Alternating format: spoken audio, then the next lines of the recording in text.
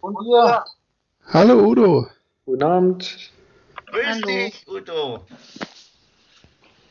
Was macht denn ihr Schönes? Wir machen eine Konferenz, weil es dich gibt. Wir sprechen gerade über Gott und Welt und sonst was. Mhm. Und habt das verstanden? Nein. Nein, leider noch nicht. Mein Gott nochmal, da musst du uns zuerst mal erklären, was verstehe ich. Wir haben Das vielleicht ist immer was ganz interessant, das ist immer wieder das, dasselbe Spiel mit dem Denken, dass das eigentlich immer wieder bloß, wo du klar machen musst, ist bloß ein einziger Geist. Und der platzt jetzt auf in verschiedene Perspektiven. Du siehst bloß deine Perspektive. Das ist immer, wenn ich jetzt auftauche zum Beispiel, das sind viele Fragen, von was lebt denn der? Ich. von dir, von dir selbst. Ich könnte jetzt sagen, wenn du zum Beispiel glaubst, du bist der Loder und du fragst dich, vor was lebt der Loder, der Geist geht in eine Facette in die Vergessenheit und durch diese Vergessenheit versucht er sich dann am Leben zu erhalten. Obwohl die Quelle für den Menschen, der du zu sein glaubst, bist du selbst.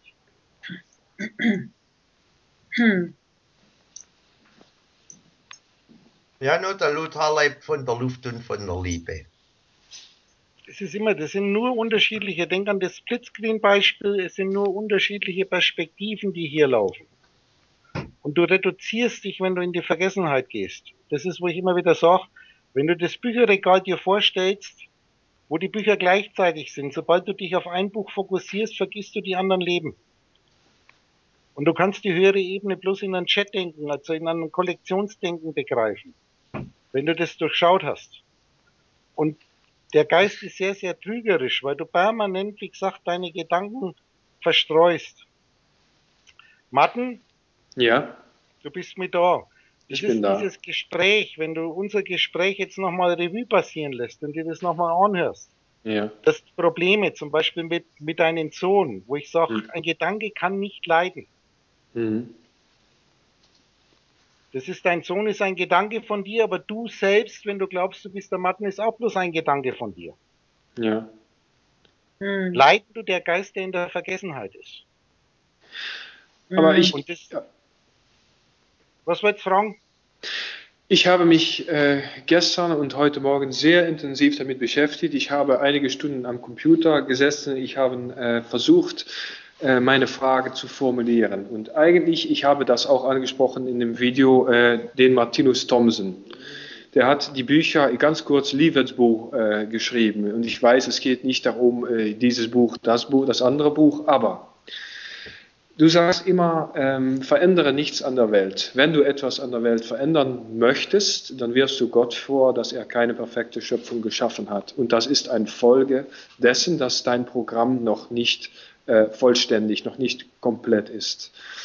Ähm, aber da frage mich ich, das, das vermisse ich so, warum gibt es bestimmte Krankheiten, warum gibt es Kriege, warum gibt es das? Und dann nur ganz kurz, was ich bei Martinus lese, er sagt eigentlich, ähm, ganz viele Sachen sind eigentlich dasselbe wie Holo-Feeling. Er sagt auch, es gibt einen Geist, der ist raum- und zeitlos. Und damit er sich selber wahrnehmen kann, fragmentiert er sich in unendlich viele, äh, du würdest sagen, Geistesfunken.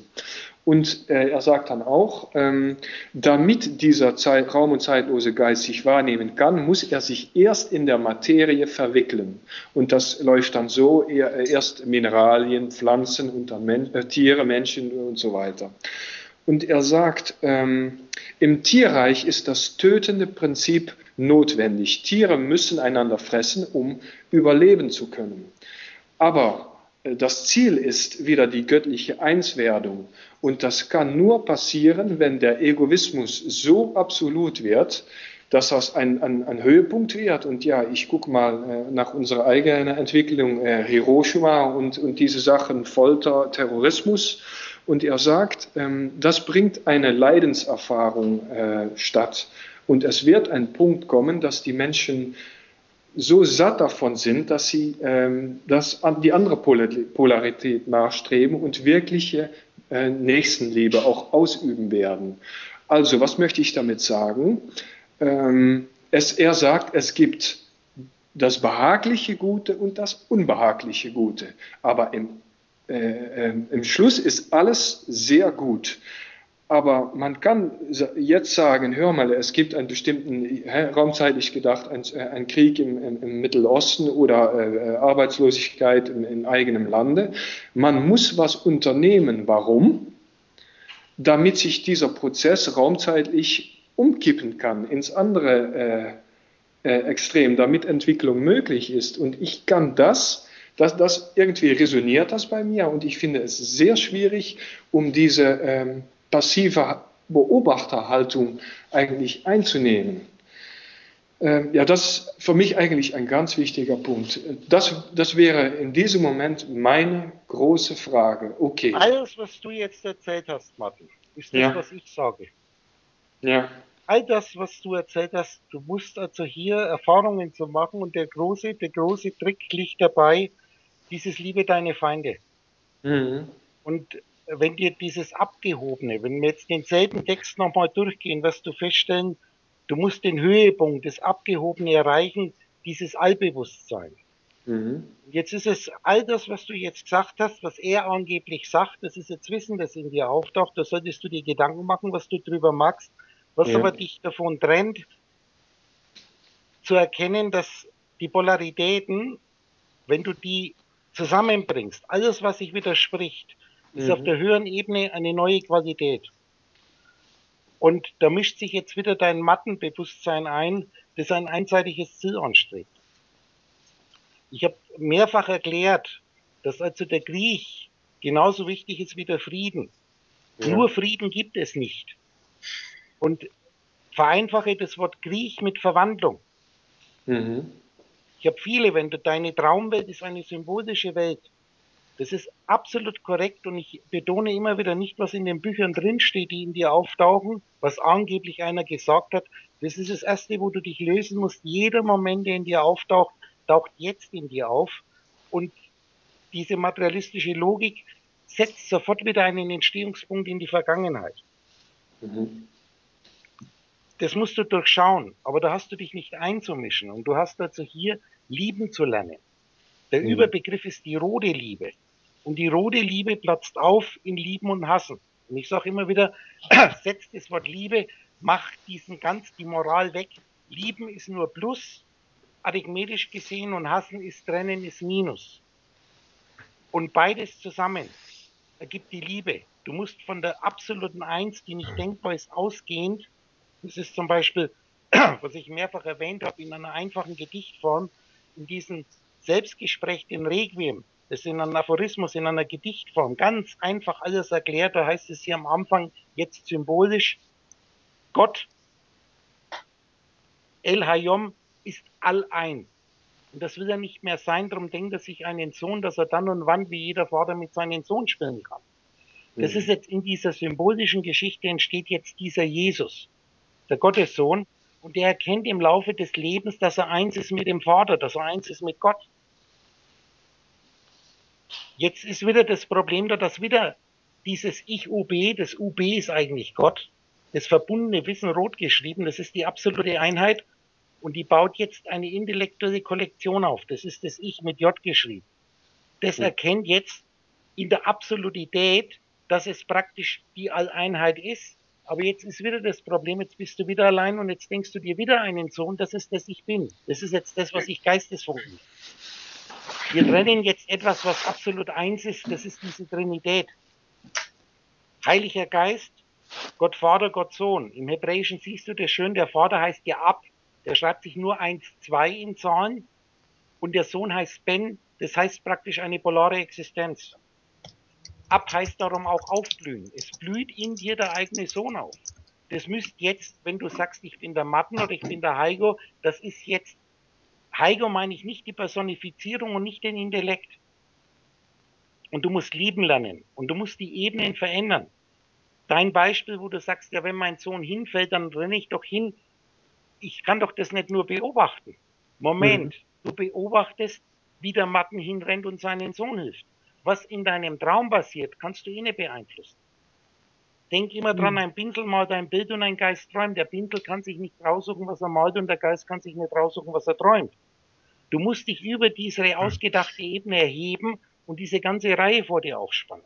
Und jetzt ist es also so, dass ich immer wieder sagen kann, da gehen jetzt welche auf die Straße, die demonstrieren für irgendwas. Dass du, wenn du deine geistige Ebene erreicht hast, wird sich das automatisch scheinen, dass du das Spiel nicht mitspielst, weil du erkennst, dass hier um Einseitigkeiten gekämpft wird. Du bist immer noch in deiner moralischen Einstellung, dass du eine Welt willst, die nur Frieden ist. Und da kann ich nur sagen, eine Welt, die nur Frieden ist, das ist eine Welt, die nur Sonnenschein hat. Die wird nicht lange existieren in deiner derzeitigen Vorstellung von Natur. Du brauchst den Regen dazu. Und der Krieg, was so hart klingt, was ja wirklich nur in einem Traum ist, wie wenn du dir im Kino einen Kriegsfilm anschaust, ist Verwandlung. Mein mhm. altes Beispiel, wo mir oft vorgeworfen worden ist, wenn du jetzt dein Zeitfenster, die Zeitgeschichte aufspannst, die du in deinem Intellekt vorfindest, der Zweite Weltkrieg. Aktiviere mal Bilder im Zweiten Weltkrieg. Wir wollen keine Moral machen. Wir sehen das einmal ganz, ganz wertfrei was 1945 kannst du jetzt Bilder aus deinem Wissen generieren? Denk dir die Städte in Europa, in Deutschland speziell, Berlin, Nürnberg und denk dir Hiroshima, Nagasaki in Japan. Die wurden mhm. in Schutt und Asche gelegt. Das ist sozusagen, das wurde umgeackert. Das ist dieser Endstand des Krieges. Die sogenannten Verlierer. Und jetzt kippt das System immer wieder um, weil das will geheilt werden. Du musst die Mitte suchen. 10, 15 Jahre später, wer hat den Weltmarkt beherrscht? Komischerweise die zwei Länder, die total zerstört waren, sind wirtschaftlich die Nummer eins gewesen. Nach lächerlichen zehn Jahren. Das ist wie ein Feld, das umgeackert wird. Und wohlgemerkt, denk an die Symbolik, löse dich davon, dass irgendwelche Bilder in deinem Kopf, dass da irgendwelche Menschen leiden. Das sind alles nur Vorstellungen, die Sachen, die du vor dich hinstellst. Es gibt in deiner Welt bloß ein Ding, das heil ist, das ist der Geist, der träumt wenn er nicht vergessen hat, dass er der träumende Geist ist. Er ist letztendlich die Energie für alles. Es ist ein vollkommen neues Denksystem. Darum sage ich immer wieder, es ist in Wirklichkeit alles ganz anders, aber ich kann mit dir nur innerhalb deiner Logik sprechen. Mhm. Egal welche Logik du jetzt hast. Und es ist, Klar. ich könnte euch viele, viele Schriften jetzt von Philosophen, wo du sagst, wenn du die aktivierst, wenn du suchst, diese allumfassende Liebe, diese Liebe darfst du nicht, die rote Liebe darfst du nicht verwechseln mit der blauen Liebe. Die blaue Liebe ist immer selektiv. Das ist schon, wenn ich sage, ich will Frieden, ich will nur Gesundheit. Das mhm. ist eine Einseitigkeit, das ist nicht Heiligkeit. Heiligkeit ist eben, dass du diesen Widerspruch der Polarität gleichzeitig siehst. Und wenn das nicht der Fall ist, das wäre jetzt, wenn wir in die Dora reingehen, nirgends wird das besser beschrieben, wenn man das richtig übersetzt, also nicht entheiligt die Schrift, einseitig auslegt, sondern so wie ich das erkläre, man muss sich damit beschäftigen. Da wird ganz, ganz befestigt die Entwicklung des Geistes, wie der sich aufbaut, jetzt das zerspringt in der Einheit, wird hier beschrieben in symbolischen Bildern. Das beginnt im Vers 6 mit der Rakia, diese Feste, das heißt also hier unsere Wasserlinie, wo ich immer sage, teilt sich in ein Oberhalb und in ein Unterhalb. Auch hier bin sehr oft darauf eingegangen, auf diese Kain- und Abel-Geschichte. Das ist der Kain, schreibt sich Kopf J nun, der erschlägt den Abel. Jetzt, wenn wir das deutsche Wort Abel nehmen, steht er schon ab El, der Vatergott. Das heißt, in dem Moment, wo du dir einen Gott ausdenkst, erschlägst du deine eigene Göttlichkeit. Darum heißt, steht in der Dora für Abel steht der Hebel, das heißt eigentlich nichts. Du erschlägst dieses Nichts, das du selbst bist und dadurch wirst du zu einem Kein, so ein Affenmenschen, kein als Koff J. Nun lesen, kann man in Blau lesen, eine affine intellektuelle Existenz und der wird jetzt unstet und flüchtig. Das heißt, jetzt bewegst du dich in deinen eigenen Traum als Figur. Dasselbe Geschichte wird übrigens auch in anderen Schriften, wenn du in den Hinduismus reingehst. Das sind natürlich Sachen, die wurden nie in der Vergangenheit geschrieben. Das sind tiefere Strukturen in deinen geistigen Archiven, die du freischalten musst. Ich kann mhm. immer wieder nur sagen, löse dich davon, dass dein Wissen von außen kommt. Es gibt kein Außen. Das ist das zweite Gebot. Mach dir kein Bild von irgendwas da außen. Denk es dir aus, bewusst. Denk mhm. es dir in die Vergangenheit. Denk dir jetzt an Krieg, was weiß ich, in die Ukraine. Aber wisse, dass du nur dein eigenes intellektuelles Wissen verwirklichst und dich als Gott entgöttlichst, als Geist entgeistigst, indem du meinst, du hast mit dem, was du dir ausdenkst, nichts zu tun. Mhm. Mit wem hm. sollte denn die Welt, die du dir jetzt ausdenkst, die nur ständig wechselnden Informationen in deinem Kopf sind? Und selbst der Kopf meine ich nicht den Kopf von dem Menschen, der du zu sein glaubst, sondern das ist immer wieder die Ebene höhere Bereich, wird durch Symbole in deinem Traum dargestellt. Und mhm. jetzt ist es, dass wenn du in eine Inkarnation gehst, ich mache jetzt das einmal so, ich drücke mich einmal esoterisch aus, das heißt, in vielen Schriften hat jeder von euch schon gehört, dass bevor du inkarnierst, suchst du dir raus, was du erleben willst, welche Rolle du spielst. Echt? Also. So heißt es in vielen Schriften, musste ich ja, wenn ja, mit ja. Esoterik beschäftigen. Ja, ja, ja, nicht, dass es unbedingt so ist, dass man sich was raussuchen kann aus der Einheit her gesehen. Und jetzt ist es also so, dass jedes Leid muss, ist eine Facette. Lass diese Wertung von dir weg, dass das gut oder dass das schlecht ist. Es ist immer wieder mit der Angst, es ist einfach nur, es ist. Es ist etwas, hm. was auftaucht. Qualitäten entstehen durch das Wertesystem, das du zurzeit zum Denken benutzt und das hast du zu durchschauen. Das sind die Fehler im Führerscheinprüfungsbuch. Und da gibt es nichts zu bekämpfen, sondern es gibt sehr, sehr viel zu heilen. Und jetzt ist natürlich auch hier, nachdem dieser Adam in einen Tiefschlaf fällt, heißt es in der Dora, das ist immer diese große Dennung, trennt er sich ja, jetzt kommt diese Sache mit der Eva, wie die Eva entsteht. Gott entnimmt aus den Adam eine Rippe, heißt es. Kann man jedes Wort vielfältig auf. Im, im Original steht da Zeller. Zell heißt Schatten, ist ein, ein Schattenaugenblick. Wenn ich das mit Holofeeling mache, die Geburt eines Lichts aus dem Augenblick ist. Er nimmt praktisch einen Schattenaugenblick, stellt ihn vor ihn hin und sagt, das ist deine Eva.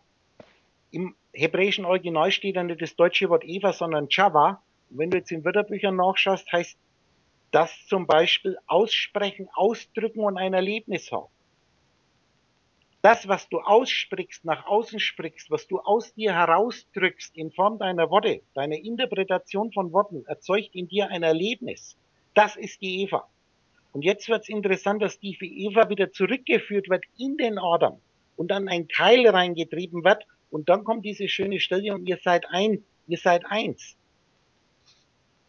Du und deine Traumwelt, das Meer und seine Gedankenwelt sind letztendlich eine Einheit. Und der Geist, der das versteht, der sich das ausdenkt, der kommt jetzt wirklich in den geistigen Bereich. Und das, was nicht mehr denkbar ist, das ist reines Sein. Hm. Das Schlimme ist die Moral. Das ist ja auch hm. interessant, wo ich oft darauf hinweise, das hebräische Wort für Moral ist Moser. Steht Moser können wir das lesen, die Moserer. Wenn du jetzt im Langenscheid-Wörterbuch nachschaust, dieses Wort Moser, das normal mit Moral übersetzt wird, heißt laut Langenscheid auch Angeber, Denunziant und Schwarzmaler. Und ich sage immer, sind nicht alle Moralisten Angeber, die glauben, sie wüssten, was richtig ist, die bestimmen, die angeben, was angeblich richtig ist und was verkehrt ist, denunzieren die nicht jeden, der nicht ihrer Meinung ist und sind es nicht Schwarzmaler, die permanente Schwarze sich diese schlechte Welt ausdenken? Wenn du in einer Moral verfangen bist, und das sind jetzt viele, viele Sachen, dein kultureller Hintergrund innerhalb deiner Matrix, das musst du erleben und du kannst dich darüber erheben. Das ist die Freiheit des menschlichen Geistes. Das Erheben heißt nicht, dass du was verändern solltest. Das ist es verrückt. Ich sag, stell dir den Heiligen Geist, die heilige Einheit, die du nicht denken kannst, weil sie heilig ist, die teilen wir zuerst einmal ein in Baselstücke, ohne dass wir das Basel zerbrechen lassen. Und jeder Gedanke, jede Gedankenwelle, die in dir auftaucht, ist ein kleines Bastelstück aus dieser heiligen Einheit. Und wenn du irgendein Bastelstück, irgendeine Situation, die in dir auftaucht, nicht haben willst, entheiligst du dich selber. Und wenn du irgendein Bastel, irgendeinen Gedanken verändern willst, besser machen willst, was passiert, wenn du an einem Bastelstück irgendwas wegschneidest oder das veränderst, dann kannst du das Bild nicht mehr heilig machen. Du kannst es nicht mehr zusammensetzen. Du sagst, dass man nichts verändern muss, dennoch verändert sich das ja, sagen wir mal. Das ist der große Trick dabei. Es verändert sich von selbst, wenn du nichts mehr verändern willst. Und solange du etwas verändern willst, verändert sich nichts am Wesentlichen. Und ich wiederhole immer und immer wieder, wenn dir jetzt einmal alle, Heiko gehe ich einmal davon aus, dass der die ganzen Selbstgespräche auch gehört hat, die er reingestellt hat bei sich, raumzeitlich gesprochen. Schau mal in den Selbstgesprächen, erinnere dich, wie oft ich darauf hinweise, und ich mache jetzt das in meiner einfachen derben Sprache. Jeder Beobachter der mit irgendetwas, was er beobachtet, nicht einverstanden ist, ist ein blindes Arschloch. Und jetzt pass auf, jetzt fangen wir mal an. Die erste, unterste Ebene, das ist noch kein Beobachter. Solange du glaubst, du bist ein Körper mit einem Gehirn, ist ja noch kein Geist da. Das ist der normale Mensch, der was beobachtet, der nörgelt sowieso an allen möglichen rum. Dann gehen wir drüber, jetzt gehen wir in die menschliche Ebene. Ich beobachte mich, ich beobachte mich, was ich erlebe. Und dann schau mal, wie sehr, machen wir die Daniela jetzt, wie sehr die Daniela an sich rumnörgelt. Wobei ich sage jetzt mit dem normalen Verständnis ist es eigentlich ein Frevel, wenn sie unzufrieden ist mit sich selber zum Beispiel. Was müssten da viele andere Frauen sagen, die du dir ausdenkst? Und mhm. jetzt kommt eigentlich erst das rote Ich, dieser Leser, dem das bewusst wird. Und dann habe ich immer wieder darauf hingewiesen, es ist ganz schlimm, wenn du dich selbst beobachtest, was du an dir und an deinem Leben alles anders haben wolltest. Obwohl du doch die Rolle, das ist wie wenn ich jetzt unser Beispiel nehme hier mit dem Hannibal Lecter, wenn der Schauspieler sagt, nein, das spiele ich nicht, ich spiele diese Rolle nicht, dann bricht die ganze Geschichte, dieser ganze spannende Film auseinander. Der letztendlich nur Unterhaltung ist. Lehrreiche Unterhaltung. Alles ist sehr lehrreich. Aber jetzt pass auf, jetzt komme ich auf diesen wesentlichen Kern. Jeder Beobachter, der etwas beobachtet und damit nicht einverstanden ist, ist ein blindes Arschloch. Das heißt, wenn ich mich beobachte ich weiß das jetzt und ich beobachte mich, das läuft so unbewusst ab und ich stelle fest, dass ich mit vielen Sachen noch nicht einverstanden bin und ich will mich jetzt verbessern. Ich will mir das abgewöhnen. Der jetzt eins drüber ist, der wirkliche Geist, der sich selbst beobachtet, wie ich mich beobachte. Da muss ja schon wieder ein Bewusstsein drüber sein, ich erkenne jetzt, dass das ja schon wieder ein blindes Arschloch ist, weil er mit sich selbst nicht einverstanden ist, mit seiner Logik nicht einverstanden ist. Und der Geist, den wird es jetzt nur bewusst, ohne dass es verändern will. Jetzt bist du erst auf der Ebene des Ich-Hinguckens. Und jetzt komme ich zu deiner Frage mit der Veränderung. Daniela hat gerade festgestellt, es verändert sich ja eh lauf. Die große Frage ist, ob ich mich einmische oder nicht.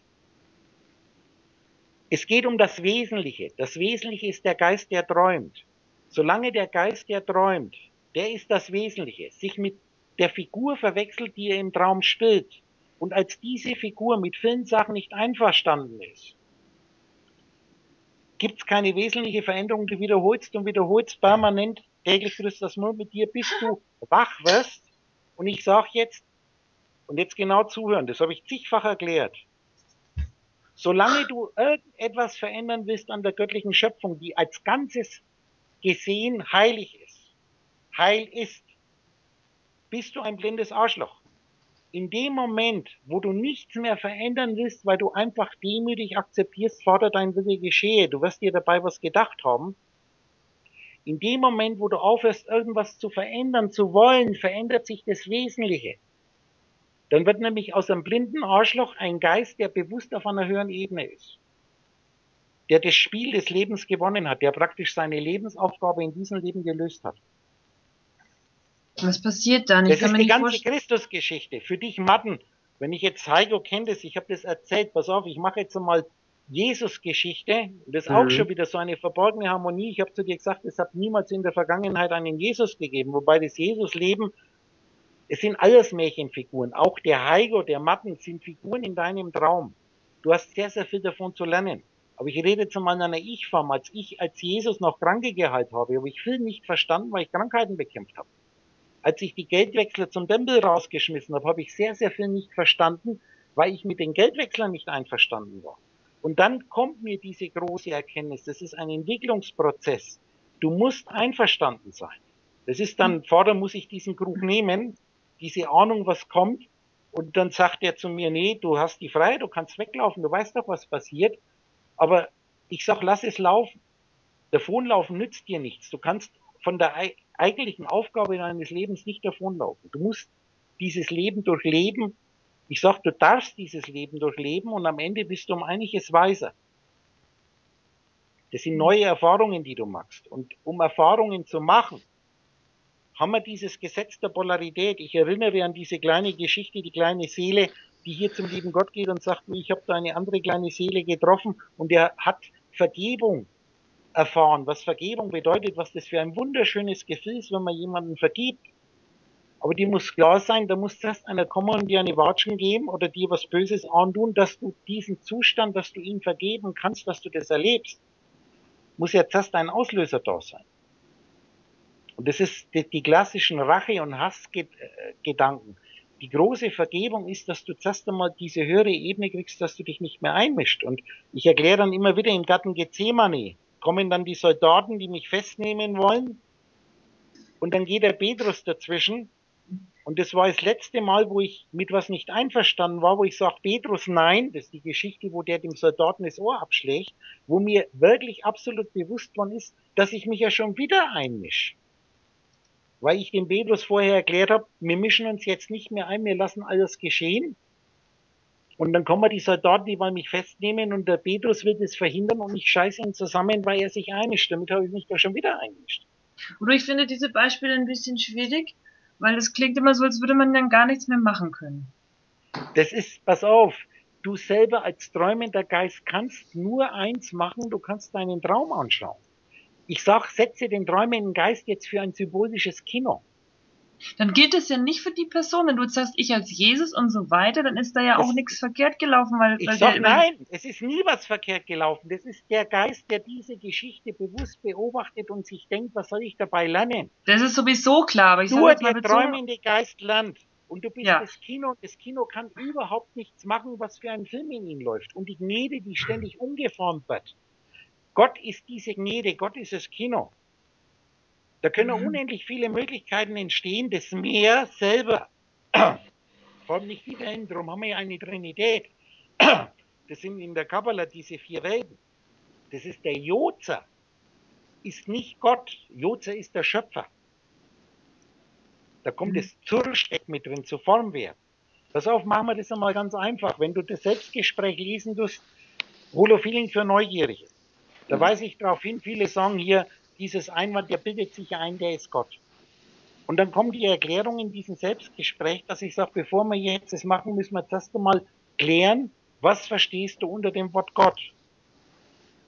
Wenn ich jetzt Gott setze, ganz bewusst symbolisch für diese Gnede, für die Energie, die ständig ihre Form verändert, musst du wissen, dass Gott sich diesbezüglich in keinster Weise einmischt, was für eine Form ihm gegeben wird, was der Gnede für eine Form gegeben wird, oder im Beispiel mit dem Kino, das Kino sucht sich nicht raus, welcher Film in den Kino läuft, das ist vollkommen passiv und lässt es mit sich geschehen.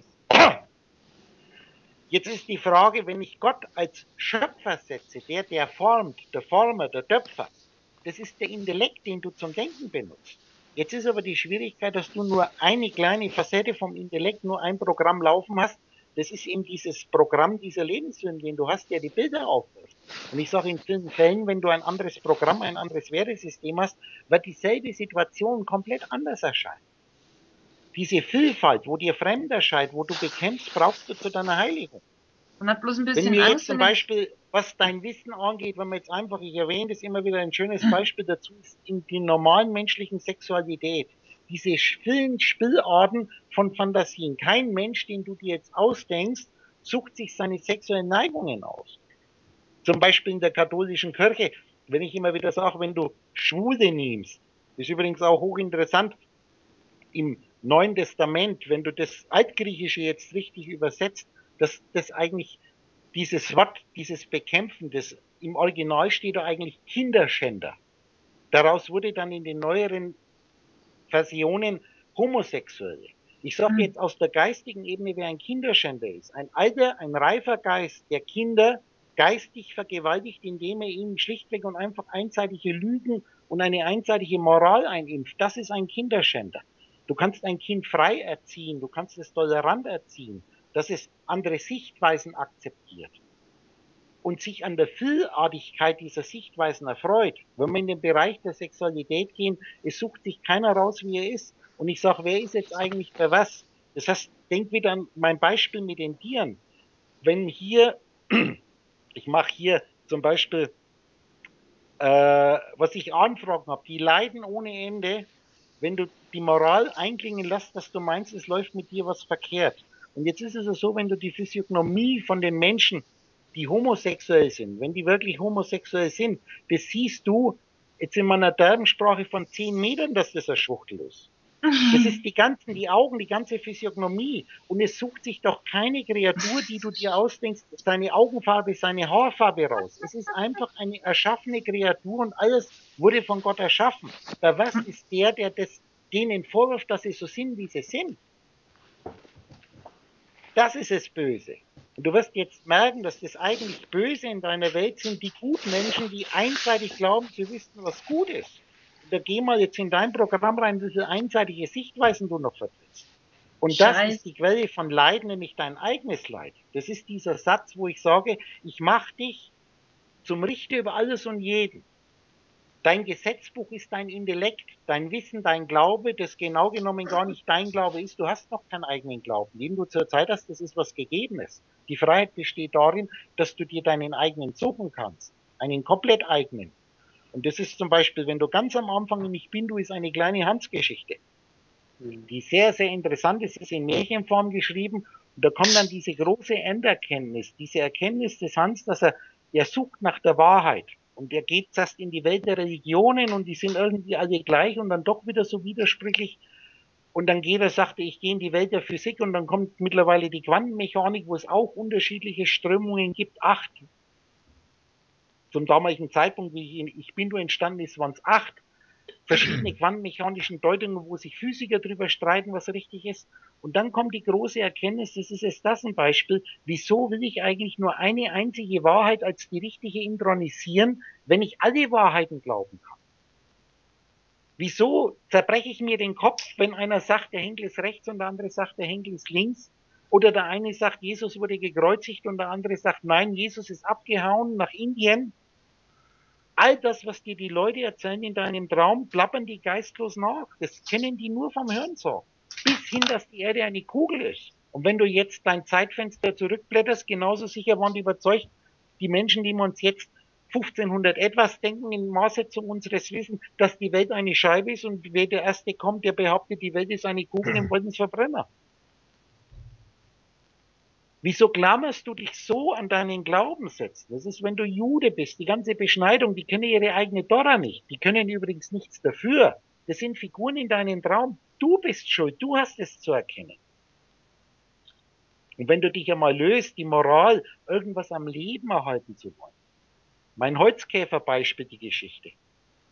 Das ist immer von Eigennutz getrieben. Da ist immer Ego dabei und du musst dieses Ego überwinden, indem du eine alles umfassende Liebe, diese absolute Liebe in dir entwickelst. Das ist Liebe deine Feinde. Etwas zu lieben, was dir logisch erscheint, das kann jeder Idiot. Schwierig wird es, wenn du was lieben musst, wo dein tiefstes Inneres angewidert ist davor. Also ganz amoral. Das ist zum Beispiel auch, wenn ich immer sage, hör auf mit irgendetwas zu sympathisieren. Sympathie heißt Mitleid, wörtlich übersetzt. Du musst vollkommen apathisch werden, nicht leidend. Das ist doch das, was du willst. Interessant ist der Materialismus, der alles verdreht, wenn ein Mensch apathisch ist, dann sagt man, der ist krank, der ist doch nicht normal. Es ist Ja. doch nicht normal, dass man nicht leidet. Ja. So viel zum Thema materialistische Logik. Ja. Diese Aber innere stoische Ruhe. Und die Facetten, die Vielfältigkeit des Lebens der Daniela mit den Aspekten zum Beispiel von Herrn Heigo gesehen. Der Heigo hat eine ganz andere Vorstellung von der Daniela wie die Daniela von sich selber und umgekehrt. Du schaust durch die Brille deines Intellekts und du musst erst einmal eine volle freie Sicht kriegen. Das ist die kleine Stelle in dem einfachen kleinen Stück der Dialog der Liebe. Du hast ein ganzes Leben lang hast du durch das Wertesystem deines Charakters projiziert. Du hast die Welt praktisch durch dein Wissen entstehen lassen und auch moralisch bewertet, qualitativ bewertet mit deinem Wissen. Und mit Holophilen kommt was, dass du zusätzlich das auch durch die Augen der Liebe siehst, durch den Christus siehst, auch dich selber, wie du einseitig werdest und urteilst. Dazu musst du aber neben dir stehen. Du musst etwas vollkommen Neues sein, das ist die Verwandlung.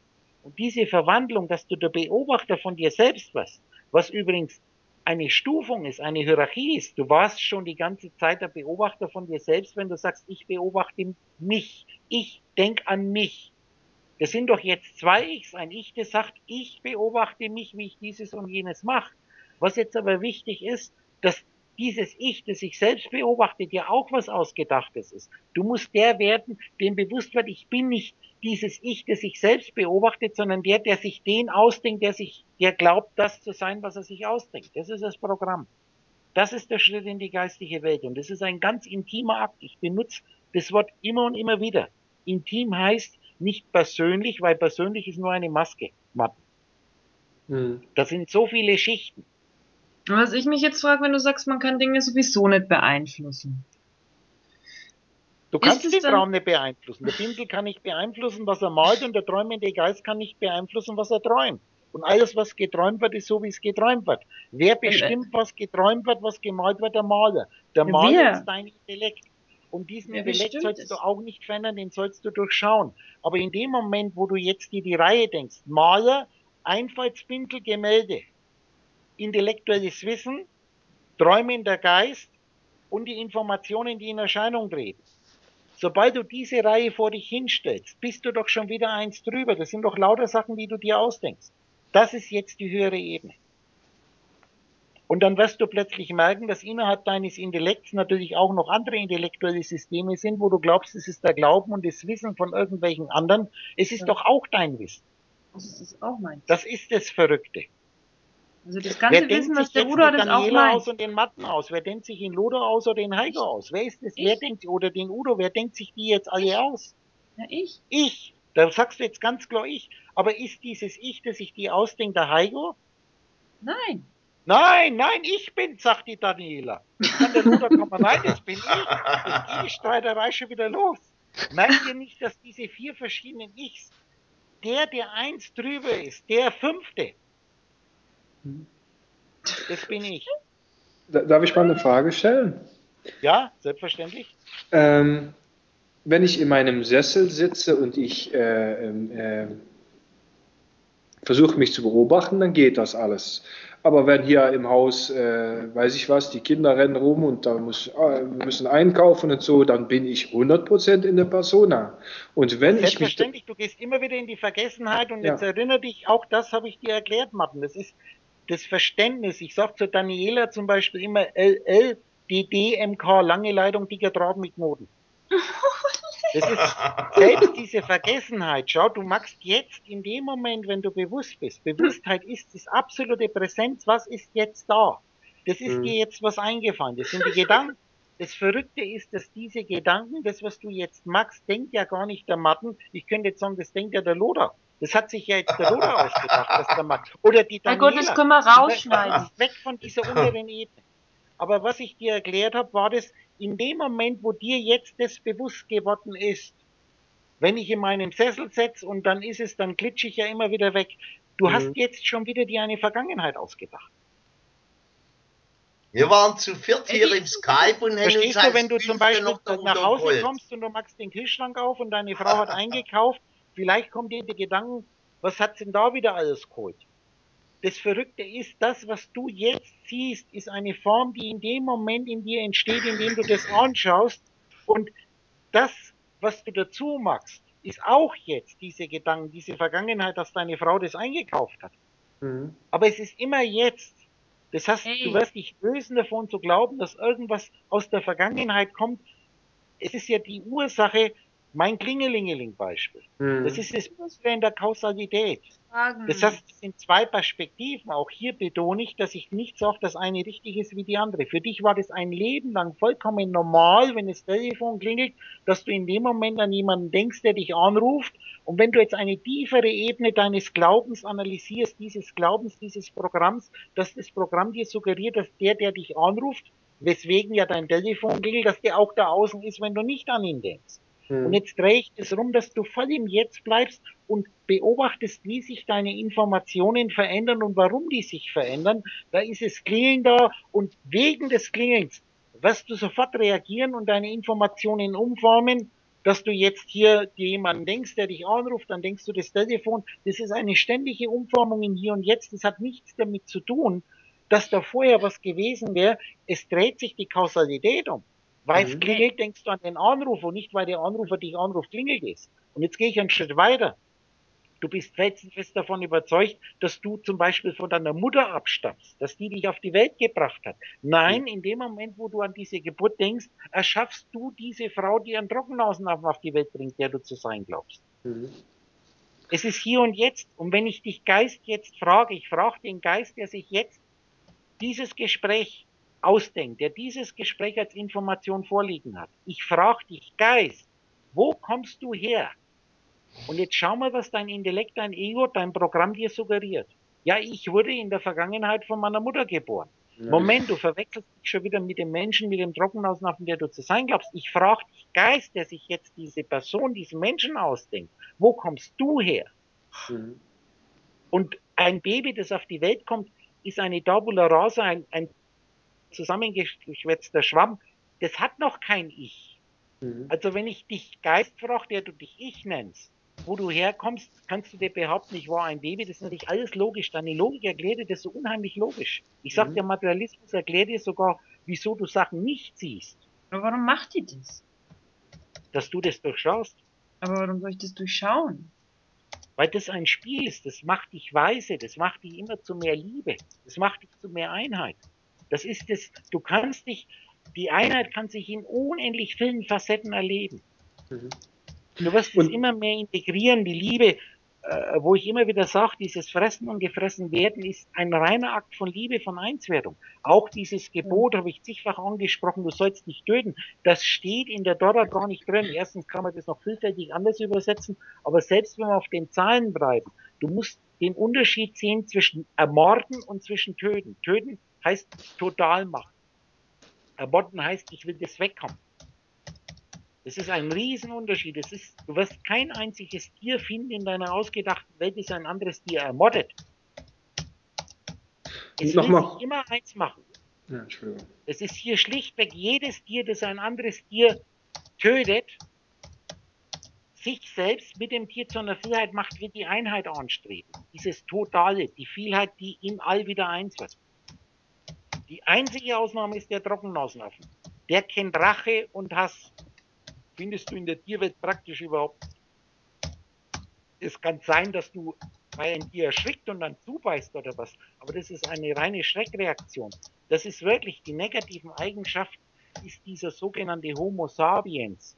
Und äh, in Ich bin, du gibt es einen schönen Satz, wo es heißt, du wirst irgendwann einmal erkennen bei einer sehr intensiven Selbstanalyse deines Charakters. Da musst du aber schon wer anders sein, der diesen Charakter als Gegenstand betrachtet und wertfrei analysiert, dass hier das Pathologischste, das Krankhafteste ist genau das, was du ein Leben lang mein gesunder Menschenverstand genannt hast. Dass das die Ursache für die ganzen Krankheiten ist.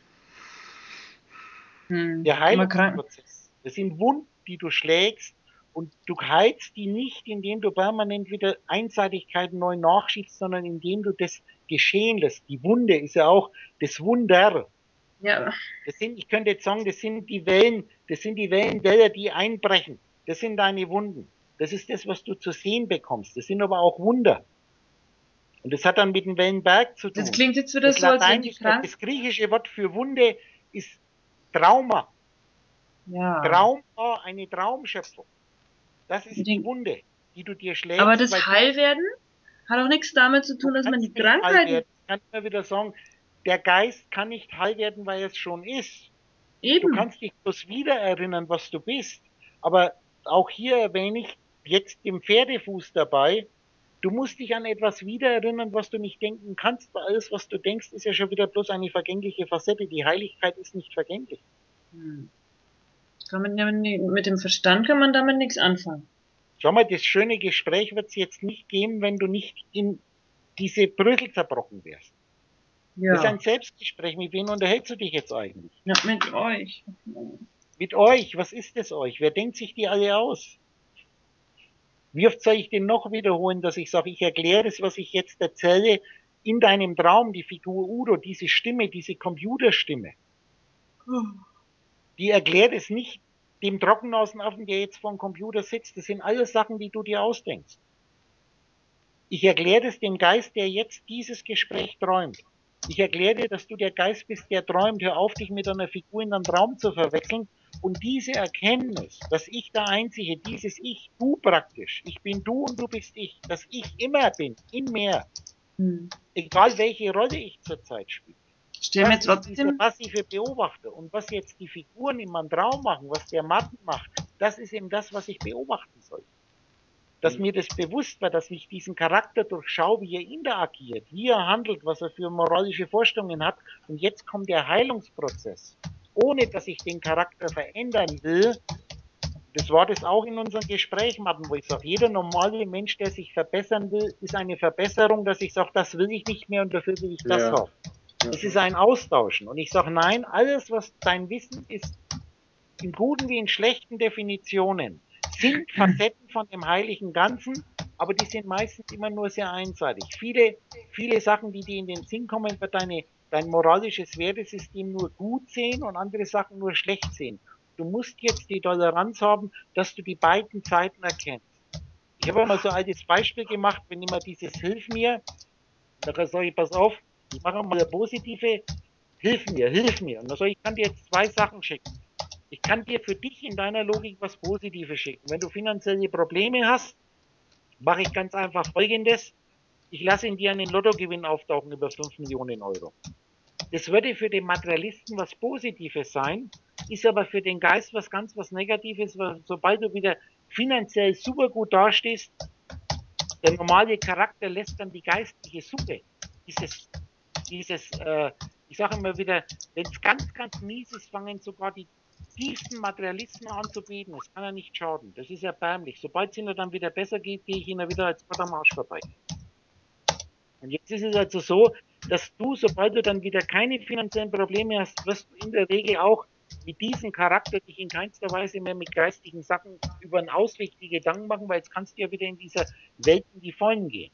Die andere Art von Hilfe ist, dass ich einfach dir eine schlimme Krankheit, eine Krebsdiagnose und der Arzt sagt zu dir, du hast maximal noch vier Wochen zu leben. Das, was du jetzt als ganz schlecht bewertest, eventuell mit einem Charakter, ist ein riesengroßes Geschenk, weil jetzt würde die Welt, wenn das eine hundertprozentige Diagnose ist, dir die Welt total am Arsch vorbeigehen und du wirst jetzt ganz intensiv dir Gedanken über den Sinn des Lebens machen und was du wirklich bist. Ja, und was, was ist das dann? Machen wir doch, also weißt du, dann verändert sich in erster Linie doch auch erstmal nichts.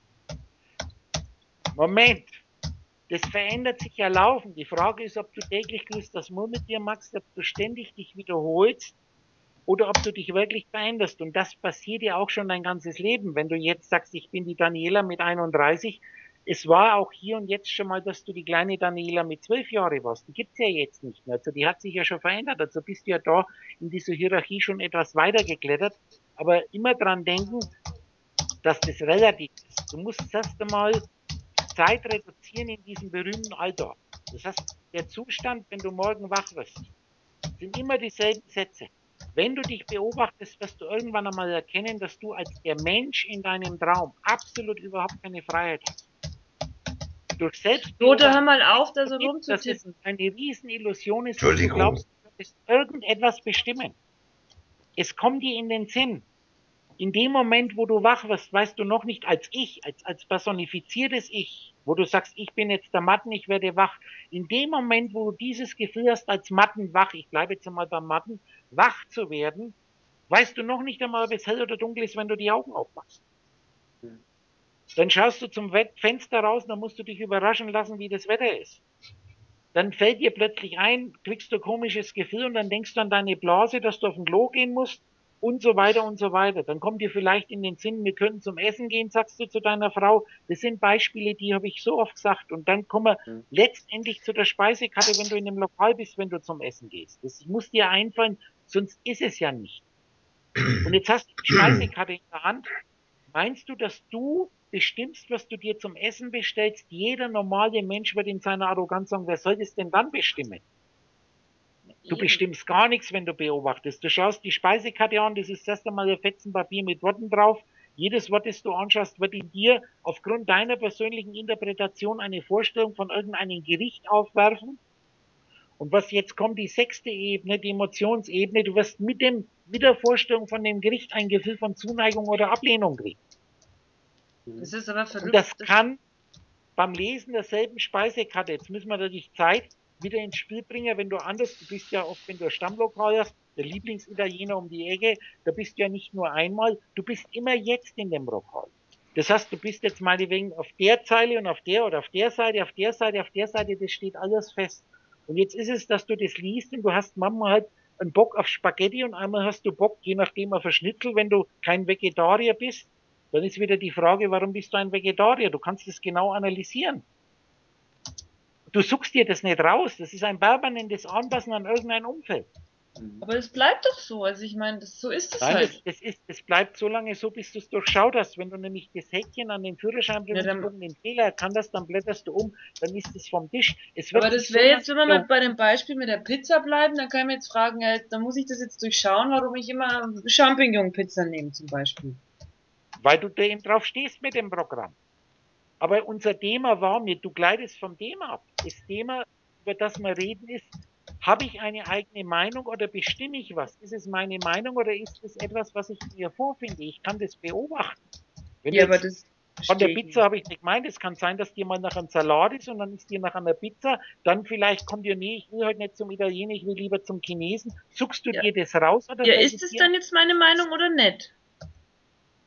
Es ist einfach etwas, was von deinem Programm, von deinem Charakter aufgeschmissen wird. Es wird von deinem Charakter, den du zurzeit zu Ja. durchschauen hast, wird es hochgeworfen. Das macht dein Programm. So gesehen kann ich nie eine eigene Meinung jemals bekommen. In dieser unteren Ebene hast du ein Programm, die eigene Meinung, von der ich rede, ist was ganz was anderes. Das müssen wir ja mal Das ist klären, deine dass dann eigene immer Meinung wird die Meinung aller sein. Die Meinung wird alles sein. Ja, aber agieren Das als ist- Person das- kann ich das, halt was immer nur. Holofeeling- Was ich dir mit Holofeeling lehre, wenn du das da zum Beispiel verstanden hast, jeder hat Recht, aber nur ein bisschen. Aber das Hm. wirst du erst sagen, wenn du eine Stufe höher bist. Die ganzen Philosophen, wenn wir uns hinsetzen, Martin, wir gehen einmal die klassischen großen Philosophen der Weltgeschichte, die du als Wissen in deinem Speicher hast, gehen wir durch. Muss ich dir sagen, wenn du die Gedankengänge mitgehst, jedes einzelne, das ist ja auch hier im Requiem. Du kannst jeden, wenn du tolerant bist, jeden Gedankengang mitgehen, dir erzählt einer was oder du liest eine Schrift, die angeblich von irgendjemandem ist, da löst du dich dann eh, das taucht jetzt in dir auf und du willst diesen Gedankengang mitgehen, du willst den erfahren, du wehrst dich gegen nichts. Das ist wie wenn du mal ein Kind bei der Hand nimmt und sagt, jetzt schauen wir uns mal die Tasse von der Seite an und jetzt schauen wir uns die von der Seite an. Das ist so unendlich einfach, wenn du nicht zwanghaft an einer Seite festhältst. Bloß ich werde schon ganz verrückt. Und dann wirst du feststellen, dass das alles, jeder dieser Philosophen vollkommen einen logischen Aufbau eines Gedankengangs hat, der nur von einer anderen Perspektive aus verkehrt erscheint. Ja. Das ist die Toleranz.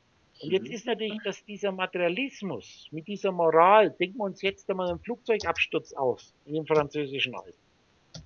Dann hast du in deinen Medien, jetzt momentan sind es nur Worte und diese Worte werden dich sofort wieder eine Erinnerung in dir wachrufen, wo du meinst, es war vorher in der Zeitung, das ist vor so und so langer Zeit ist das passiert. Nein, es ist immer jetzt. Aber dann Mhm. kommt diese Solidarität, dieses unendliche Geheuchelte, dann fliegen die ganzen Politiker hin. Das ist nicht, dass die Politiker, die wir uns jetzt ausdenken, die in Erscheinung treten, dass die sich das raussuchen können, dass die jetzt von dir geträumt werden und du kannst dir nicht raussuchen, dass du die träumst. Das ist ein Lehrfilm. Mhm. Hm. Das ist, das zu überwinden ist ganz wichtig. Dann kommt der Bundespräsident, dann ist in dem Dorf, wo die umgekommen sind, die Ja, große du, was meinst Trauerfeier. du mit Dann wird, dann wird hier Solidarität, wird, wir sind ja solidarisch. Pass auf, Was ich mache meinst mal ein schönes Beispiel. Du denkst dir an Weidezaun und an dem Weidezaun hängen sich, halten sich manche Leute fest. Eine ganze Reihe von Leuten und die schreit laufen, weil sie einen Schlauch nach dem anderen kriegen. Das ist, weil sie nicht loslassen können. Und jetzt gehst Ja, du hin und hältst dich auch mit fest, weil du solidarisch bist. Du leidest mit, du Ja, aber könnte man jetzt nicht einfach sagen, man macht dann ein Schauspiel draus? Weil das Das macht ist man halt so. Schauspiel. Das, was du anschaust, ist ein Spiel, das du anschaust, ist ein Schauspiel. Du musst immer die Ebenen wechseln. Das ist das permanente Festhalten an der unteren Ebene. Wenn du doch bewusst in ein Kino dir einen Film anschaust, einen Hollywood-Film, gehst du mit den Bildern ganz anders um, wie wenn du meinst, das ist in den, das sind Nachrichten. Also das Ich heißt, man müsste schon da. Naja, aber ich sehe jetzt zum Beispiel den Udo, der würde ja niemals auf eine Demonstration gehen und so. Hundertprozentig kannst du an euch drauf verwetten, dass er Siehst- das nicht macht, weil er das auf seinem Programm drauf ist. Der Udo ist so, wie du ihn dir ausdenkst. Ach so. Da kannst du jetzt dir einen anderen denken, der sich an Udo ausdenkt, der totaler Spinne ist, weil der glaubt, der ist Gott. Und da soll, die können nicht zuhören. Du bist Gott. Gott ist der, der alles aus sich herausschöpft und du denkst dir den Udo aus. Der Udo ist bloß ein Geschöpf. Äh, in unser erstes Gespräch hast du auch gesagt, die Holo-Feeling-Wende ist viel, Revolution ist viel äh, eingreifender als die kopernikanische Revolution. Der Austausch des Betriebssystems. Ja, ja. Pass auf, ich habe in einem der Selbstgespräche gesagt, wir bleiben mal hier. Das sind jetzt ganz grobe Metaphern. Ich sage immer wieder, meine Beispiele sind erst einmal Vereinfachungen von Vereinfachungen. Und wir bleiben aber bei den Computer. Du hast beim Computer brauchst du zuerst einmal ein Betriebssystem das klassische Betriebssystem, das jetzt bei Windows sind ja schon so viele Programme mit drin, aber wenn du noch mit DOS, wenn man das kennt, wenn man sich ein ja. bisschen mit Computer auskennt, dass das klassische Betriebssystem ja eigentlich nichts macht. Du brauchst ein Programm.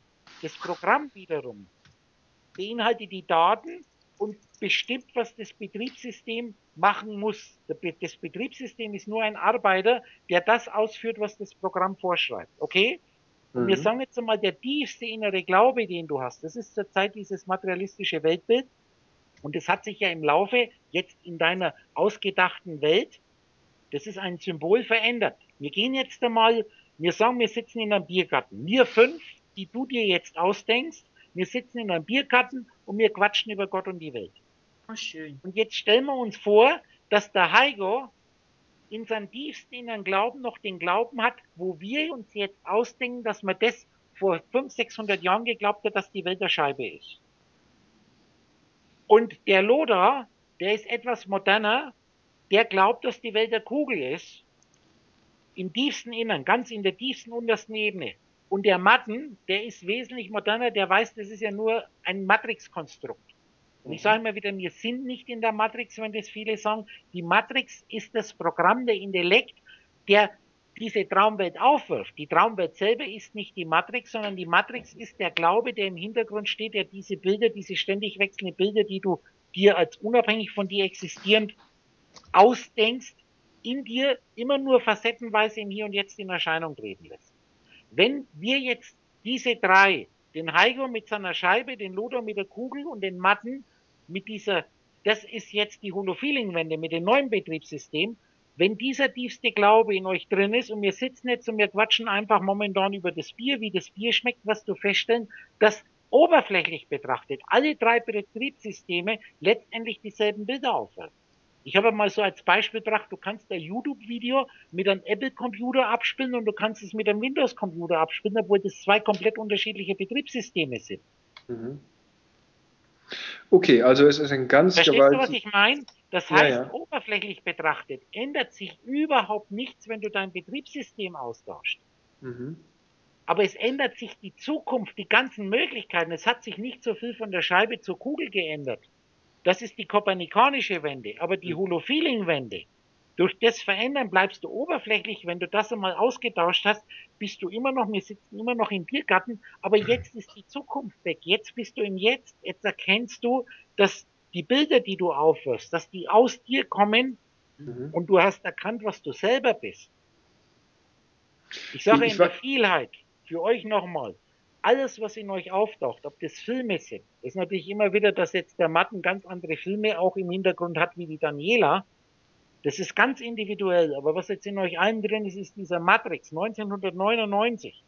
Mhm. Übrigens ganz nebenbei, bei meinem ersten Vortrag in Albina, hier und jetzt ausgedacht, habe ich ein halbes Jahr vorher, da hat noch keiner gewusst, dass der Film ins Kino kommt, habe ich das schon vorher, die waren dann danach ganz entsetzt, weil ich das ganz intensiv dieses Prinzip erklärt habe. Dass natürlich jetzt hier bei dem Film Matrix, dass hier die Regisseure Wachowski heißt, ist ein gewisser Erweckungsprozess und der Produzent von dem Film Matrix ist Joel Silver. Der hat noch etliche andere Fletchers Fictionen und ähnliche Filme produziert, jetzt raumzeitlich ausgedacht. Das ist ein jüdischer Name. Joel Silver, der heißt eigentlich auf Jüdisch, es ist amerikanisiert, heißt Kesov. Das heißt wie eine Schwelle. Das hebräische Wort für Silber heißt wie, das sind diese Wellen. Und jetzt, wenn du bewusst schaust, was soll mir das sagen? Viele, die die Filme erklären, gehen gar nicht weit genug. Ich habe immer wieder darauf hingewiesen, schon die Frage, willst du die rote oder die blaue Pille? Das ist sehr interessant mit meinem Rot und Blau in den Büchern. Mhm. Es kommt alles aus mir, glaubt es mir oder lasst es sein. Und ich bin du. Bloß ich Mhm. weiß, wer ich bin. Ich erkläre dir die ganze Zeit, dass ich du bin. Ich bin das, was du sein wirst, wenn du das Buch durchgelesen hast. Jetzt ist es ja so, schon die Frage wieder die rote oder die blaue Bitte ist, ist der Henkel rechts oder ist der Henkel links? Das ist der erste Fehler, den du erkennst. Du musst wissen, die blaue Bille führt dich in die Welt des Traums. Die rote Bille führt dich nach Zion. Zion heißt Grabstätte. Darum sind die da unten in so einer unterirdischen Höhle. Das ist praktisch hier, wo die Matrix dann sich, die Geister sind. Die kommen aber nur in die oberflächliche Welt. Das heißt, in die Matrix, wenn sie sich an den Computer anschließen. Die können in diese Welt nicht reingehen, sondern wenn die in die blaue Welt wollen, müssen sie ihren Nackenkabel anschließen an den Computer und dann kriegen die den Film eingespielt und das, was du siehst, das einmal, die blaue Welt gibt's ohne die rote gar nicht.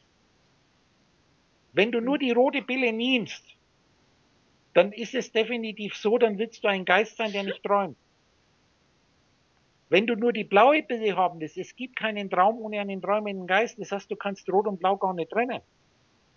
So wenig wie du den Denk- und das Ausgedachte trennen kannst. Aber wichtig ist der dritte, die Synthese. Wer denkt sich jetzt die rote, wer denkt sich Zion aus und wer denkt sich diese oberflächliche Matrix? Du denkst dir doch beides aus. Und jetzt pass auf, jetzt sagen wir ganz einfach, da liegt jetzt, Daniela ist die Trinity, der Heiko ist der Neo, die wollen beide in die Matrix rein, der Matten ist der Morpheus, dann wenn die, legen die sich hin, dann werden die am Computer angeschlossen, es ist ein Computer, ein Zentralcomputer.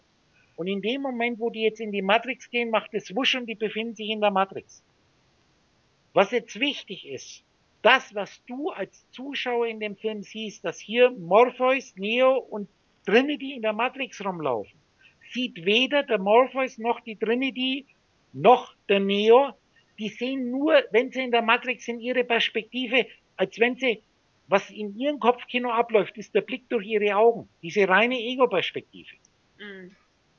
Das heißt, wenn hier jetzt zum Beispiel der Matten Skype mit dem Udo. Wir sagen jetzt einmal, da ist ein Udo-Charakter, ein Udo-Programm und ein Mattenprogramm und die sind beide jetzt in den Computer angeschlossen. Dann fangen die zum Träumen an. In dem Moment sind sie in der blauen Welt und wenn du das Mattenprogramm in dir laufen hast, in diesem Kopfkino, ist dann ein Matten vor dem Computer und hat ein Pixelmännchen Udo vor sich. Mhm. Das Udo-Programm sitzt ein Udo vor dem Computer und hat ein Pixelmännchen Matten vor sich. Das sind zwei komplett eigenständige Träume. Wenn Menschen träumen, träumt jeder seinen eigenen Traum. Die sind aber verbunden in diesem Computer. Das Also ist IOB. Ich habe einmal das Beispiel gemacht, dass ich sage, du denkst dir ein modernes Hotel oder Multimedia-Kino. Ich mache immer gerne ein Hotel mit einer ganz modernen Videoausstattung und jedes Zimmer ist hier ein Fernseher, wo du sofort Filme abrufen kannst aus einer Zentrale. Von einem Zentralcomputer. Und du musst wissen, als Ich Bin-Bewusstsein bist du zuerst einmal dieses Zimmer und du kannst nicht wissen, was in den anderen Zimmern läuft. Du kannst nur schauen, was in deinem Zimmer auf der Leinwand in Erscheinung tritt. Es gibt auf dieser unteren Ebene keine Möglichkeit, hier von dem einen Kopf in den anderen reinzuschauen. Das kannst du nur wieder, was in den Zimmern unterschiedliche Filme gleichzeitig laufen, das weiß nur der, der drüber ist, der die Filme verteilt. Der in der Zentrale sitzt, der weiß, Zimmer sowieso schaut jetzt den Film an und Zimmer sowieso schaut sich den Film an. Das ist wieder eine Bewusstseinsstufe höher. Ich könnte jetzt sagen, das Bücherregal. In dem Moment, wo du aber ein Buch anfokussierst, dich konzentrierst, vergisst du alle anderen Bücher. Und in dem Moment, wo du in dem Buch eine Seite anschaust, vergisst du das Buch. Es ist aber im Hintergrund trotzdem da, so wie ein Betriebssystem da ist und ein Programm läuft. Und wenn du jetzt meinetwegen bloß schreibst, denkst du nicht an einen Internetbrowser oder an irgendwie ein Buchführungsprogramm. Erst wenn du das wieder einschaltest, wenn es auf dem Bildschirm in Erscheinung tritt. Und das ist das, wo ihr immer wieder wegglitscht, dass hier diese, diese Frage, wo wir in unserem Gespräch ein paar Mal hatten, wenn du sehr aufmerksam warst, dass du dann wieder an den Matten denkst und dann sagst du, mein Sohn ist ja dann nicht da, nachher habe ich gegrinst. Doch, der ist in dem Moment da, wo du ihn denkst. Wenn du ihn Mhm. nicht denkst, ist er nicht da. Aber dann hat er auch kein Problem. Und auch der Matten hat kein Problem mit seinem Sohn, dass dem was passieren könnte, weil das erste Problem, das aufgeworfene Probleme heißt das Vorgebirge. Wir haben wieder unseren Wellenberg, das in Mhm. dir auftaucht, ja erst entsteht, indem du dran denkst. Ja, und Aber ich du habe dann glaubst, auch, dass das Problem auch dann da ist, wenn du nicht dran denkst. ja, und ich habe mich dann auch noch im Nachhinein schuldig äh, drüber gefühlt, ähm, dass ich gedacht habe, äh, was, wenn ich ganz passiv werde? Ich denke einfach nicht mehr an äh, äh, negative Das Situationen. Aber ja, aber ich kann mich auch Das nicht ist die aus. Moral. Warten, was jetzt passiert, dass du merkst, dass die Ursache für Leid ist dieses fehlerhafte Programm. Es Ja. ist immer noch diese Verlustängste, diese Verantwortung. Das Programm sollst du ja, und darum habe ich immer wieder darauf hingewiesen, als Matten, dass du eh nicht anders können. Du hast ja deine Rolle zu spielen, ein Mhm. fürsorglicher Vater zu sein. Das will ich Mhm. dir nicht abtrainieren, aber ich unterhalte mich jetzt nicht mit diesem Programm, sondern ich unterhalte mich mit dem Geist. Und Also Ja. das da- verändert sich dadurch wenn du definitiv ein nicht. Daniela-Programm laufen hast, da ist dem Matten und dem Matten seine zwei Kinder sind der Daniela bis jetzt vollkommen am Arsch vorbeigegangen. Die haben für die gar nicht existiert, Ja. bevor du in ihr das erste Mal aufgetaucht bist. Weil das komplett andere Welten sind. Das findest du in der Physik in der Mehrweltentheorie. Aber die werden natürlich auch wieder versucht, raumzeitlich zu interpretieren. Das ist immer Ja. mit den Vorstellungen. Ich könnte euch das so genau zeigen, wenn wir in physikalische Bücher reingehen. Die Formen sind übergenial, so wie die Dora übergenial ist. Auch der Koran übergenial ist, wenn man nicht einseitig raumzeitlich interpretiert. Es ist überall dieselbe Geschichte, bloß etwas anders beschrieben drin. Verzeih mir, den Charakter, den du zurzeit durchlebst. Das ist der Schwerpunkt. Und jetzt kommt diese Stelle im Dialog der Liebe. Du hast dein Leben bisher nur durch die Perspektive deines Charakters gesehen und jetzt fängst du langsam an, auch dieselben Sachen, die der Matten so sieht, durch die Augen des Christus zu sehen. Das heißt, Mhm. jetzt kommt langsam das höhere Bewusstsein in dir. Dieses Ich beobachte mich, wie ich mich beobachte. Jetzt könnte ich die Farben setzen. Dieses Ich bin, der Leser beobachtet sich, also diesen Charakter, der sich zurzeit als der oder der Person empfindet im Traum. Und es sind Schichten. Ich erinnere hier zum Beispiel mein Faschingsball-Beispiel. Stell dir mal vor, du gehst auf einen Faschingsball, es ist Maskenzwang, Martin. Mhm. Du weißt nicht, wer hinter der Maske sitzt und du hast ein nettes Gespräch mit irgendeinem anderen Gast. Jetzt ist dir natürlich klar, wir sagen mal, der ist, der hat äh, irgendwie die Maske auf vom Obama, Politiker. Jetzt ist Mhm. dir natürlich klar, dass du dich nicht mit dieser Persona, mit dieser Maske unterhältst, sondern jetzt normal gesprochen mit der Person, die diese Maske trägt. Aber jetzt die Sprache sagt dir, dass die Person, sprich der Körper, dass das ja auch eine Maske ist. Persona heißt ja Maske auch Larve. Das heißt, du unterhältst dich nicht mit der oberflächlichen Maske und auch nicht mit dieser Person, die die Maske trägt, sondern mit dem Menschen, der zurzeit als diese Person in einem Raum in Erscheinung tritt. Aber jetzt weißt du, dass der Mensch ja nur ein Konstrukt, Werte und Interpretationsprogramm ist. Mit dem unterhältst du dich auch nicht, sondern mit dem Geist, der in Verbindung mit diesem Programm, mit diesem Körper, mit dieser Maske, mit diesem Gesicht praktisch in dir in Erscheinung tritt. Du merkst, du bist durch mehrere Schichten hindurch, bis du zum eigentlichen Geist kommst und du wirst dann erkennen, das bist du selber. Es ist jeder Mensch, den du denkst, der jetzt in dir auftaucht als Mhm. Person ist zuerst einmal ein Gedanke, den, für den gibt es kein Vorher und kein Nachher. Und wieso macht ihr euch das so schwer in eurer Personifizierung, wenn ihr dieses einfache Prinzip begreift, dass nichts und niemand leiden kann und es wird auch kein Gedanke von euch überleben und jeder Gedanke, den du denkst, der wird so sein, wie er von deinem Programm gedacht wird. Du hast Philosophen, mit denen hast du sympathisiert und bei anderen Philosophen mit einem Mattencharakter hast du gesagt, na, das liegt aber in den Alten, die haben nichts begriffen. Mhm. Die können gar nicht anders sein, wie du sie dir ausdenkst. Ja. Es ist das, was ist. Und darum sage ich, du musst als erstes Christusbewusstsein bekommen. Diesen Zustand, ich nehme alle Schuld auf mich. Jetzt kriegst du das Bewusstsein des Einfallspinsel des träumenden Geistes, der weiß, egal was ich im Traum in Erscheinung treten lasse in meinem Kopfkino. Es ist so, wie es ich in Erscheinung treten lasse. Das heißt, die haben keine Schuld. Darum betone ich immer wieder, wenn ich jetzt hier äh, geistlose, machtgeile Politiker, Selbstdarsteller, egal was du dir ausdenkst, die sind immer nur dann, wenn ich sie denke und ich stelle jetzt fest, ich ist jetzt nicht mehr dieser träumende Geist, sondern der, der sich als träumenden Geist bewusst denkt, als ich sage immer wieder, träumende Geist, die wir uns denken, ist ja schon wieder ein Symbol für dich selber. Also erhebst du dich jetzt, du wirst jetzt bewusst sein, dass dieser träumende Geist natürlich auch jetzt was Ausgedachtes ist, den du genauso frei zu sprechen hast, weil der kann sich ja nicht raussuchen, was er träumt. Und jetzt suchen wir den Schuldigen. Ja, das bin erst einmal ich. Ich nehme alle Schuld auf mich. Und jetzt, was wieder in materialistischer Logik einseitig negativ klingt, ist eigentlich das genaue Gegenteil, weil die Frage, wer ist schuld, wer ist dafür verantwortlich, ist ja auch eine Frage von Schöpferfähigkeit. Ich bin dafür verantwortlich. Ich hab's gemacht. Dir ist bloß noch nicht bewusst gewesen, dass du das alles magst, was du dir ausdenkst. Ich benutze sehr oft in meinen Gesprächen, obwohl das in den schönen Deutsch nicht so korrekt ist, dann habe ich das gemacht und dann habe ich das gemacht. Das, was ich mache, wenn ich etwas gemacht habe, habe ich die Macht. Und jetzt kommt so ein schöner Satz von mir. Du hast dann die absolute Macht, wenn dir nichts mehr etwas macht. Dann bist du Heiliger Geist dann erfreust du dich an deiner Vielheit. Und es hat sich in dir vollkommen ausgelöscht, irgendeinen Gedanken am Leben erhalten zu wollen.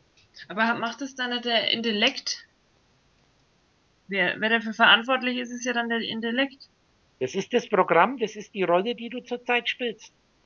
Und das ist jetzt das Schöne, dass du das zu durchschauen hast, weil du dich selbst in unterschiedlichsten Facetten erlebst. Und jetzt ist die Demut gefragt, dass man zuerst einmal unten anfängt, nicht oben. Wir sind in einer Mentalität, dass viele sich erkoren fühlen.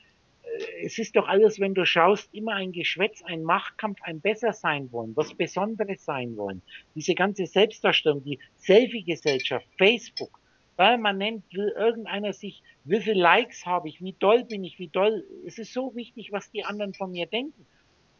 Ganz allen voran Daniela, unsere ersten Gespräche. Ja, aber die anderen. Ich sag, was sind die jetzt? Ja klar, die anderen. Was denken dann die anderen von mir, Martin? Die anderen, die du dir jetzt ausdenkst, ja. sind ein Gedanke, die werden das denken, was du denkst, dass die denken. Hm. Ich meine, im Thomas-Evangelium habe ich eine schöne Sache. Da fragen mich die Jünger, Meister, wann sind wir frei? Und ich sage, geh mitten auf dem Marktplatz, zieh dich splitterfasernackt aus, mittags, tanze ja. und lache und schädige und dreck, was die Menschen um dich herum denken. Das tut ja auch keinem weh. Aber die anderen sind ja auch die Engel. In der Geschichte, für dich in der Geschichte und da sagt meine Inge, so weit bin ich noch nicht. Und da sage ich, pass auf, Inge, es geht gar nicht darum, dir das zu beweisen, sondern es geht darum, dass dir bewusst wird, dass der Charakter Inge das niemals machen würde. Und es geht auch nicht darum, dass du das dann magst, sondern dass du dieses Bewusstsein wirst. Aber was jetzt das Interessante ist, wenn du mal wirklich begriffen hast, dass das nur Figuren in deinem Traum sind, auch der Mensch, der du zu sein glaubst, und dir dann wirklich vollkommen gleichgültig ist, was die anderen von dir denken, dann heißt es auch nicht, dass du das machen musst, um dir das zu beweisen. Weil wenn du weißt, dass du das kannst, hast du das nicht nötig, dir das zu beweisen. Hm. Und da kommen wir jetzt mit dem Glauben. Der Glaube ist, wenn du deinen Glauben analysierst, Dein tiefster innerer Glaube bestimmt, wie die Welt ist, nicht deine Wünsche. Mach dir sehr bewusst, was du dir wünschst, weil diese Wünsche zeigen dir, was du glaubst. Alles, was du dir zum Beispiel für ein neues Auto, das ist ja so ein Wunsch in Bezug auf ein spezielles Objekt. Und der Glaube, dass du das ja nicht besitzt. Und ich sage immer wieder, in dem Moment, wo du eine Gedankenwelle aufschmeißt, ich sag, du hast es besessen, du warst eins damit, bevor du dir das ausgedacht hast. In dem Moment, wo du dir das vorstellst, vor dich hinstellst, denkst du dir das aus und sagst, ich will das haben. Wie definierst du haben? Besitzen, da ist eine, ein, ein, irgendein etwas, was etwas besitzt. Letztendlich besitzt du jeden Gedanken, der in dir auftaucht. Jedes Haus, jeder Garten. Das ist alles deins. Das sind ja die Geschichten hier, raumzeitliche Schnickschnack-Geschichte, wo die Inge so lachen musste, die hat mich einmal nach, jetzt mache ich wieder bewusst eine Märchengeschichte, dass für euch jetzt ein Film abläuft. Da war ich mit meiner Inge in Mallorca und dann stehen hier die großen Yachten, da sag ich, boah, habe ich so Blasen als Udo. Und da sage ich, Mensch, ist das ein Strahl? Stell dir mal vor, was die für eine Arbeit machen zum Sauberhalten. Und dann die ganzen Häuser, wenn du spazieren gehst, die schönen Gatten jetzt, wenn du durch Vorstadt läufst, wenn die die Gatten machen, was das für eine Arbeit macht. Es ist alles meins. Es ist meins. Ich besitze das, weil ich mir das ausdenke. Meine Gedanken sind mein Besitz. Oder etwa nicht, Martin? Sind nicht deine Gedanken dein eigener Besitz? Ja, Egal, ja. was du denkst, es kommt aus dir. Mhm. Du kriegst eine ganz andere Qualität. Was das Problem ist, wenn du die vielen Häuser siehst, du willst ja, dass das schön ist. was das für eine Arbeit macht, zum Beispiel die Gatten zu machen jetzt im Sommer. Mhm. Rasen. Ich habe mir dann da einen Dick, Trick einfallen lassen. Ich denke mir, Trockennasen auf dem Haus und dann rede ich ein, ihnen gehört das Haus. Aber da ist doch- Genau. Da ist doch ein Qualitätsunterschied. Ich kann mir denken, ich, äh, ich bleibe bei deinem Beispiel, ich laufe neben den Booten und, und, und ich denke, das sind doch meine Gedanken, ich bin zufrieden, aber es ist doch ein ganz qualitativer Unterschied, ob ich mich nur die Boote ansehe oder die äh, tatsächlich besitze und damit rum. Äh, äh, Das ist materialistische Logik, wenn du dir das jetzt anschaust. Du wirst merken, wenn du das einmal deine Gedanken als deinen Besitz ansiehst, die du für dich selber ersichtlich machst, indem du dir die ausdenkst. Und in Ja. dem Moment, wo du was anderes denkst, musst du immer austauschen, weil du bloß eine gewisse Perspektive mit deiner momentanen Energie relativ bloß kleine Facetten verwirklichen kannst. Das Mhm. ist wie mit der Gnede jetzt in dem Beispiel, du kannst eine Tasse draus machen oder Brezel draus machen, aber nicht beides gleichzeitig. Mh. Aber was jetzt ist, dass diese Erkenntnis rein materiell geprägt ist. Das heißt, du wirst merken, wenn dein Geist reift, das ist ein Prozess, das im Laufe des Lebens passiert. ja. Könnte ich jetzt hier sagen, ich mache wieder als Beispiel das Udo-Leben. Ich habe kenne ja die ganzen, die ganzen Balletten mit den Wünschen im Jungen. Das ist immer wieder, bis dein Wiedererinnern kommt. Das Leben ist ja festgelegt. Ich kenne aus ganz, ich komme aus ganz ärmlichen Verhältnissen und habe mir dann rein durch die Kreativität, meine Entwicklungen, äh, kleine Firma aufgebaut und ich war dann das, was man reich nennt. Gut, ist immer relativ. Ich habe 11 Millionen Umsatz gemacht. Äh, da kann man sich schon reich nennen. Ich habe Porsche Turbo gefahren, große Autos gefahren, die Welt bereist.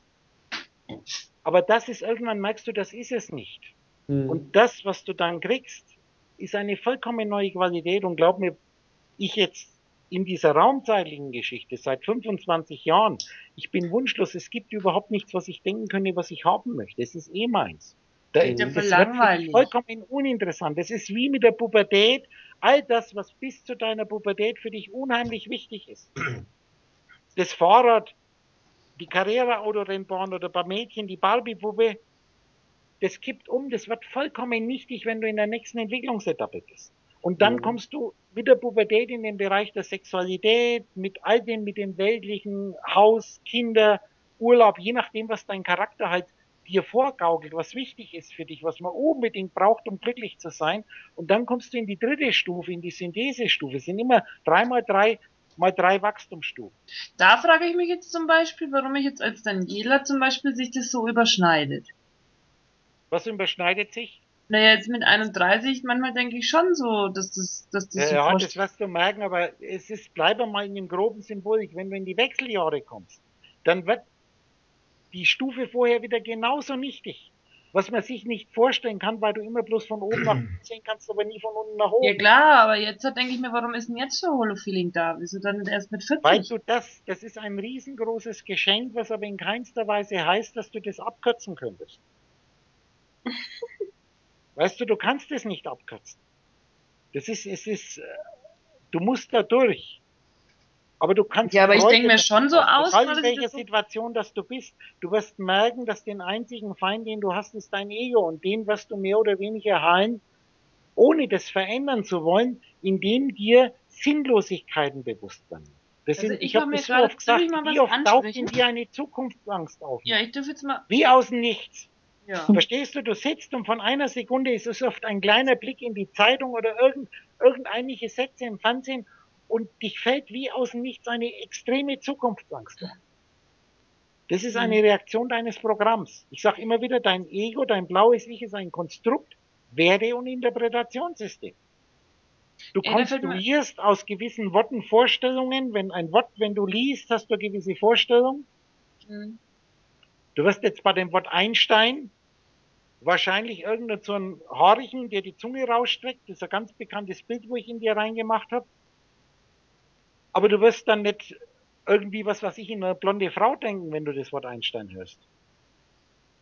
Und das ist dein Charakter konstruiert in Maßsetzung deines Interpretationssystemes.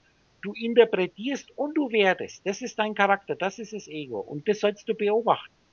Und da sind so viele sinnlose, das sind die Fehler im Führerscheinprüfungsbogen, Reaktionen, die nichts bringen. Das ist zum Beispiel Trauer. Das Leid, das du mit Trauer erzeugst in deinem Programm, wenn du die Sinnlosigkeit erkennst, Da habe ich ein schönes Beispiel übrigens in einem der Offenbarungen, die alte balinesische Kultur. So steht es Mhm. in Büchern drin, dass die keine Trauer gekannt haben, weil die von klein auf anders erzogen worden sind. Kannst Ja, so gesehen ist alles sinnlos. Band der Offenbarungen ist es am Ende. Das das Bali nicht- Beispiel. Aber das gehört doch auch dazu. Du kannst jetzt nicht nur Sonnenschein haben. Das gehört zu deinem Programm. Na eben. Ja, pass auf, nochmal, du verwechselst hier Sonnenschein und Regen, klingt jetzt in deinem Reden, ich interpretiere das jetzt einmal mit dem Udo-Programm, das klingt so, als wenn Sonnenschein schön wäre und Regen schlecht wäre. Wie oft Ja. sage ich, frage mal einen Bauern, was besser ist. Frag einen Bauern, was besser ist, Sonnenschein oder Regen. Der wird dich Okay. mit großen Augen anschauen und sagen, was ist das für eine blöde Also du meinst alle Beides. negativen Gefühle rausmachen. Darum geht's. Nein, überhaupt nicht. Ja, was jetzt? Du hast doch, wie oft habe ich zum Beispiel erzählt, dass du sitzt und sagst, Mensch, heute Abend kommt der tolle Gruselfilm im Fernsehen, da freue ich mich schon drauf. Dann freust Freude, du das dich, ist doch spannend dann Freude. Dann freust du dich, dann schaust du dir zum Beispiel Sieben an, den Krimi Sieben, der übergenial ist, mit ganz, mit einem ganz tollen moralischen Ende. Sieben kennst du, oder? Ja. Mit Brad Pitt. Mhm. Mit einem übergenialen, was ist Moral? Alles, die Sachen, einmal schauen, hast du keine Chance, dass du das verstehst. Bei der Matrix zum Beispiel, bei die Filme gleich, da reicht zehnmal nicht aus, wenn du Holofeeling nicht hast, wie viele Facetten dazwischen den Zahlen geistreich dazwischen ist, wo du sehr schnell merken kannst, dass die, die dieses Drehbuch, die du dir jetzt ausdenkst, geschrieben haben, die können das überhaupt nicht wissen. Ich sage das auch bei den ganzen Liedtexte, wo ich euch einspiele. Ja, das Jeder. Moment, der in euch auftaucht, ist maßgeschneidert für dich selber. Ich teile dir was mit. Und jeder Moment, den du erlebst, das wiederholen sich viele Momente, dann hast du es noch nicht verstanden, aber wenn du was durchschaut hast, ist es abgehakt. Und jetzt ist es das, was du sagst, Freude und Leid. Du musst die ganze Palette der Gefühle genießen können. Als normaler Mensch wirst du bloß die schönen Gefühle und die schlechten, die negativen Gefühle, den Schmerz zum Beispiel, den versuchst du zu vermeiden. Mhm. Aber es gibt keine Freude ohne Schmerz. Es gibt keine Ja, Glückseligkeit eben. ohne Leid. Weil das ja eine Gedankenwelle ist. Aber jetzt, was du noch nicht gecheckt hast, dass diese beiden sich widersprechende Hälften, wenn du die verbindest, entsteht was vollkommen Neues. Und da du jetzt nicht von unten nach oben sehen kannst, bringe ich immer wieder das Kegelbeispiel, dass du dich bewusst eine Stufe reduzierst, dass du sagst, ich lebe in einer Welt, wo man nur, wo es nur Flächen gibt. Und dann Mhm. ist halt das Kreis was ganz was anderes wie ein Dreieck. Ein Kreis Mhm. ist rund, ohne Ecken, ohne Kanten und das Genau. Dreieck ist spitz und eckig. genau. Und das widerspricht sich total. Das Ja, weil das- das widerspricht passt sich ja eigentlich zusammen. nicht. Es kann doch nicht hell und dunkel gleichzeitig sein. Es kann Ja. beides, kannst du verbinden, du brauchst aber eine Dimension mehr und da du dreidimensionale Vorstellungen machen kannst, wird dir jetzt klar, dass du Kreis und Dreieck sind zwei Perspektiven eines Kegels. Aber jetzt können wir nicht sagen, dass Trauer sinnlos ist. Pass auf! Der Kegel ist eine voll, was vollkommen Neues, der aber letztendlich sich auf diese, auf der unteren Ebene auf Kreis und Dreieck aufbaut. Und ich sage jetzt zum Beispiel Sonnenschein und Regen ganz grob, ergibt Wetter.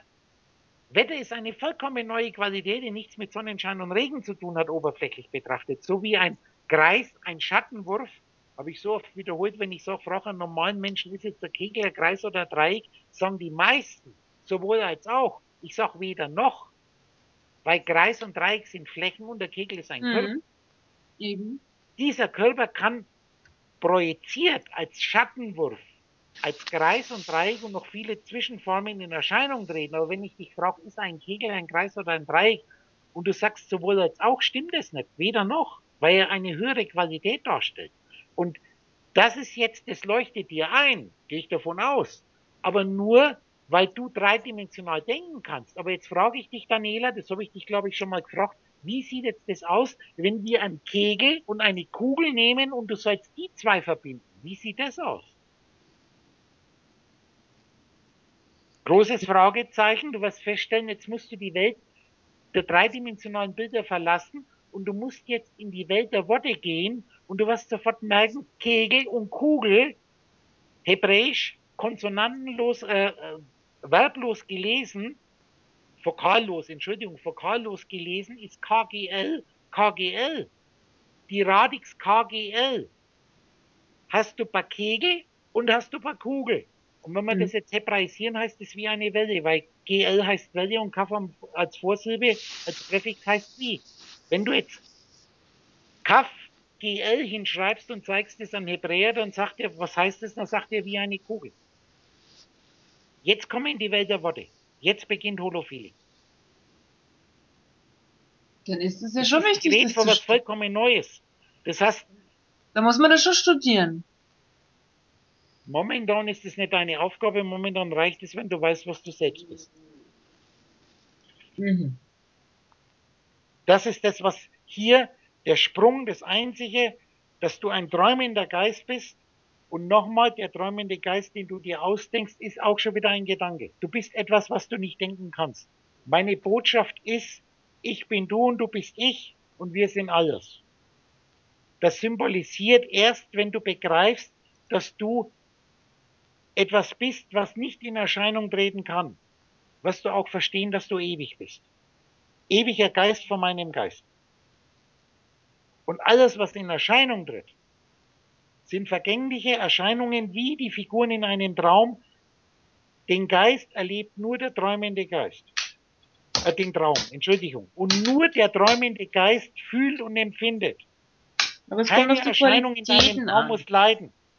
Es sind Was deine Interpretationen von Illusionen. Den Schmatz hört, ich habe das so oft erzählt, hört euch einfach die Selbstgespräche an. Also jetzt diese Aufnahme. Das heißt, dass immer wieder deine, erst wenn du anfängst zu sagen, ich bin der Matten, dann wirst du das, was der Matten erlebt, körperlich erleben. Weil du sagst, das bin ich. Und der Matten sagt nämlich, ich bin dieser Zahn, der weh tut. Mhm. Aber der Zahn selber hat keine Schmerzen. Und du wirst jetzt erkennen, mit deinem materiellen Intellekt muss dir klar sein, der Zahn hat keine Schmerzen. Denk mal das Beispiel, ich kratze, dir in, ich kratze mir in der Handfläche. Deine Hand Mhm. spürt es nicht. Ja, das sind ja beide Seiten. Du Jetzt kann spürst man, es. Soll man sagen, Aber jetzt ist es, dass der Matten das auch nicht spürt, weil der ja auch was Ausgedachtes ist. Aber weil du Geist sagst, ich bin der Matten und alles andere bin ich nicht. Ja. Wie sieht es aus, wenn deine Frau Zahnschmerzen hast? Du denkst dir den Matten aus und du denkst dir deine Frau aus. Dann bist du empathisch. Dann hast du Mitgefühl, du kannst dich da reinversetzen, du weißt, wie sich das anfühlt, aber nur feinstofflich als Gedanken, ohne das zu realisieren, weil du bist ja nicht deine Frau. Ja. Sobald du aber wieder den Matten dir denkst und der hat Zahnschmerzen, so wie du jetzt das zu sein glaubst und der Körper von dir real empfunden wird, realisiert sich auch der Schmerz, der von dir als solcher interpretiert wird. Aber Also- wenn ich dann einen Zu- Zustand erreicht habe, wo ich alles bin, heißt das dann Dann auch, dass ich. ich, heißt das dann auch, dass ich alles empfinde, was all die anderen Personas Richtig, genau so ist empfinden? es. Genau so ist es. Boah, da wird Kann man, man doch verrückt. Das Das, was du anderen, jetzt, du musst, es, du kannst es nur erahnen. Ja, da, das wäre das Schöne ist jetzt, dass du, wenn du alles bist, in den Zustand der Synthese kommst. Denk an das Beispiel gerade mit Kreis und Dreieck, das zum Kegel wird. ja. Dass das, was jetzt für dich schon wieder einseitig nicht vorstellbar interpretiert, ganz schlimm sich ahn, erahnen lässt. Ist Ja, das also- genaue Gegenteil. Es ist die vollkommene Glückseligkeit. ja. Wenn du aufgehört hast, was Besonderes, solange, ich drück's anders aus, solange du was Besonderes sein willst, wirst du nie begreifen, was es heißt, alles zu sein. Hm. Na, Ich habe immer wieder, stell dir mal vor, das ist dieses Mitleiden, nützt überhaupt nichts. Weißt Ja. du, wenn ich jetzt sage, in Großstädten, es stirbt jemand, ein geliebter Mensch stirbt und die fallen fast ins Grab rein von Trauer. Ich sage immer, die leiden nicht, weil die diesen Menschen so geliebt haben, sondern die leiden, weil ihnen angeblich was weggenommen wird. Was sie besitzen, ihnen wurde Besitz weggenommen. Als Geist, als träumender Geist siehst du das ganz anders. Du stellst was vor dich hin und du machst dich wieder eins damit. Hm. Im Moment, wo ich das Puzzleteil wieder anlege, ich kann das Puzzleteil nur stehen, wenn ich das Ja. zu was Besonderem mache, wenn ich diese Facette aus mir herausdenke, die untrennbar mit mir verbunden ist, die zu mir gehört. Sobald ich die wieder anlege, verliere ich die Facette ja nicht. Hm. Es ist der Heilungsprozess. Es ist ein komplettes Umkehren des Wertesystems, das du zurzeit als fehlerhaft zu durchschauen hast. Hm. Und solange hab- du glaubst, das müssten jetzt irgendwelche Menschen verstehen, die du dir ausdenkst, was du bis zum Nimmerleinstag warten. Du hast auch, öfters mal gesagt, oder das hört man, das liest man auch irgendwo anders, äh, in der Einheit gibt es keine Kontraste, da ist eigentlich alles eins, aber da kann man dann auch wirklich nichts erleben. Wenn du jetzt Richtig. gerade, ja, wenn du Gott gerade, ist allein. El Hayom, Ja. Gott ist allein, es Mhm. will er nicht mehr sein, darum denkt er sich einen Ben. Aber Eine hat das hat, Existenz, das ist die Gedankenwelle, damit er dann und wann wie jeder ab, das Aufblühen aus eins wird zwei, wie der Vater mit seinem Sohn spielen kann. Und doch sprichst du in dem Sinne von äh, einiger Art Glückseligkeit. Es gibt das, Pass gibt auf, es da dann doch noch eine Art Empfinden. Warte, ich fall gleich, ich fall dir gleich ins Wort, weil ich Ja, weiß, ja, kein Problem. ich mach, ich mach, das ist nur, weil ich das so oft wiederhole und ich will mir jetzt nicht deine Frage anhören, die ich eh schon kenne.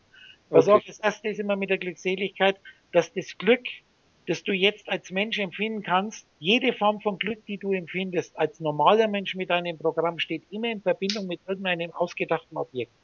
Mhm. Ob das deine Kinder sind, ob das ein schöner Urlaub ist, ein neues Auto, deine Frau, sexuelles Vergnügen. Und du musst wissen, es geht nicht darum, dass das Glück schlecht wäre, genieße es. Aber Mhm. jedes Glück, das du dir erzeugst in Verbindung mit was Ausgedachten, ist genauso vergänglich wie das Ausgedachte. Mhm. Ach, scheiße. Was jetzt mit Holofeeling passiert, wenn du das immer mehr zu verstehen anfängst, dass du in dir eine Glückseligkeit kriegst, die wirkliche Glückseligkeit, die nicht mehr in Verbindung steht mit irgendeinem vergänglichen, ausgedachten Objekt, sondern mit deiner eigenen Ewigkeit. Aber ich habe das Gefühl, da wird ihm alles so egal. Ja, egal heißt übrigens egal, ex E-Vorsilbe im Lateinischen ist immer heraustreten. Ach, das ist mir jetzt wurscht, wie das heißt. Das ist scheiße. Meinst du, dass du mir egal bist? Das sagst du doch Jetzt mal immer. ganz ehrliche Frage, meinst du, dass du mir egal bist? Sagst du immer, bist ja. als Daniela bist du ex-geil, du bist eine herausgetretene Gedankenwelle. Die geht mir wirklich am Arsch vorbei. Aber was mir überhaupt nicht am Arsch vorbeigeht, ist der Geist des Funke, der mir jetzt zuhört. Ja, toll. Und das ist das ja, was hinter der Maske steckt. Ja, aber der, Absicht davon, Kleines, die muss ja irgendwann wirst du verstehen als Daniela, dass es dich und den Udo gar nicht geben würde, wenn der Matten uns jetzt nicht ausdenken würde. Jetzt ist es mir zu blöd. Das ist ja gar nicht, den Matten gibt's ja auch nicht, den Heiko gibt's auch nicht, der einzige, den es wirklich gibt, das ist der Loder. Soll ich noch mal einen draufsetzen? Ich Setz finde das ein, ein ganz interessantes Gespräch und von der Persona Martin aus, wenn ich denke, was, ähm, wie heißt es, wie das zustande gekommen ist, was ich Heiko geschrieben haben, habe heute Abend und der hat mich dann angeskypt. Die Frage war, Heiko, wie rasierst du dich? Und jetzt sitzen wir alle zusammen. Weißt du, ich habe, äh, Martin, ich kriege oft die Frage, wenn ich als Udo in Erscheinung trete, immer wieder dieses Geld ist ja so mächtig. Wir leben ja alle von Geld. Geld ist Gott für den Materialismus. Es gibt keine Religion, die ihren Gott so anbieten wie der Materialist. Muss Mhm. wirklich einmal, wenn dir das bewusst wird, egal ob du Zeitung, Medien, Politiker nur konsumieren und wir setzen auf Wachstum, das ist so ein typisch, das ist eine schreiende Geistlosigkeit. Mhm. Vorausgesetzt, man weiß noch, dass dir diese Programme im Hintergrund immer noch von einem, von einem geschlossenen, von einer Erdkugel ausgehen mit begrenzten Ressourcen. Und ich bin jetzt da kein Moralist, ist einfach ein Fehler, den du zu erkennen hast. Aber jetzt ist natürlich, wenn ich als Udo auftrete, höre ich dann immer wieder, vor was lebst denn dann du? Was, die Mhm. wollen dann immer wissen. Und ich sag, pass auf, ich lasse da ganz einfach sagen von dir. Hm. Wieso von mir? Ja, ich lebe jetzt, weil du mich ausdenkst. Du hast den Udo gefragt und ich sag, ich bin jetzt nur, weil du mich denkst. In dem Moment, wo du mich nicht mehr denkst, existiere ich in deiner Welt nicht. Und etwas, was nicht da ist, muss ich keine Gedanken drüber machen, wo was es leben soll. Hm. Es ist natürlich jetzt, wenn du wirklich bewusst zuhörst, das ist das, was ist. Das ist ein Faktum. Dass ein Menschen, den du nicht denkst, dass der nicht da ist. Das Ja, ist aber wir reden ja auch immer von den. Personen. selbst wenn du was verneinst, musst du das, was du verneinst, dir zuerst ausdenken, um dann sagen zu können, das gibt es nicht. Wirklich weg ist es, wenn du es nicht denkst. Das war jetzt nochmal das Beispiel, ja, wenn mein Sohn, wenn was passiert, und ich kann mir ja nicht so einfach machen, dass ich einfach sage, ich denke nicht mehr an meinen Sohn und dann geht's dem gut. Ja. Auch in dem Moment, wo du jetzt dir denkst, dass du nicht mehr an deinen Sohn denkst, denkst du an deinen Sohn. ja, so passiert es einfach. Weißt du, das ist wirklich, du musst wissen, wenn du an was nicht denkst, ist es wirklich komplett weg. Und du kannst dir nur immer bewusst machen, wenn was in dir auftaucht. Auch das Aber weißt du, ich habe auch schon so das erlebt, dass kannst ich du auch echt, nicht mitkriegen. Versuche mal zu beobachten, wie es ist, wenn du einschläfst. Wenn du wirklich dieses im normalen menschlichen Sinne von dem Bewusstsein zu dem Schlaf, zu dem totalen Wegsein, wann der Punkt ist, wenn du ey, einschläfst. Du das nicht ist mir zu, Du, Das du kannst situ- nicht beobachten, wenn sich was auflöst. Ja. Was ist mit Du so siehst Situationen? immer nur, wenn was auftaucht und in dem Moment, wo was auftaucht, kannst du im selben Moment dir den Hintergrund denken, was vorher war.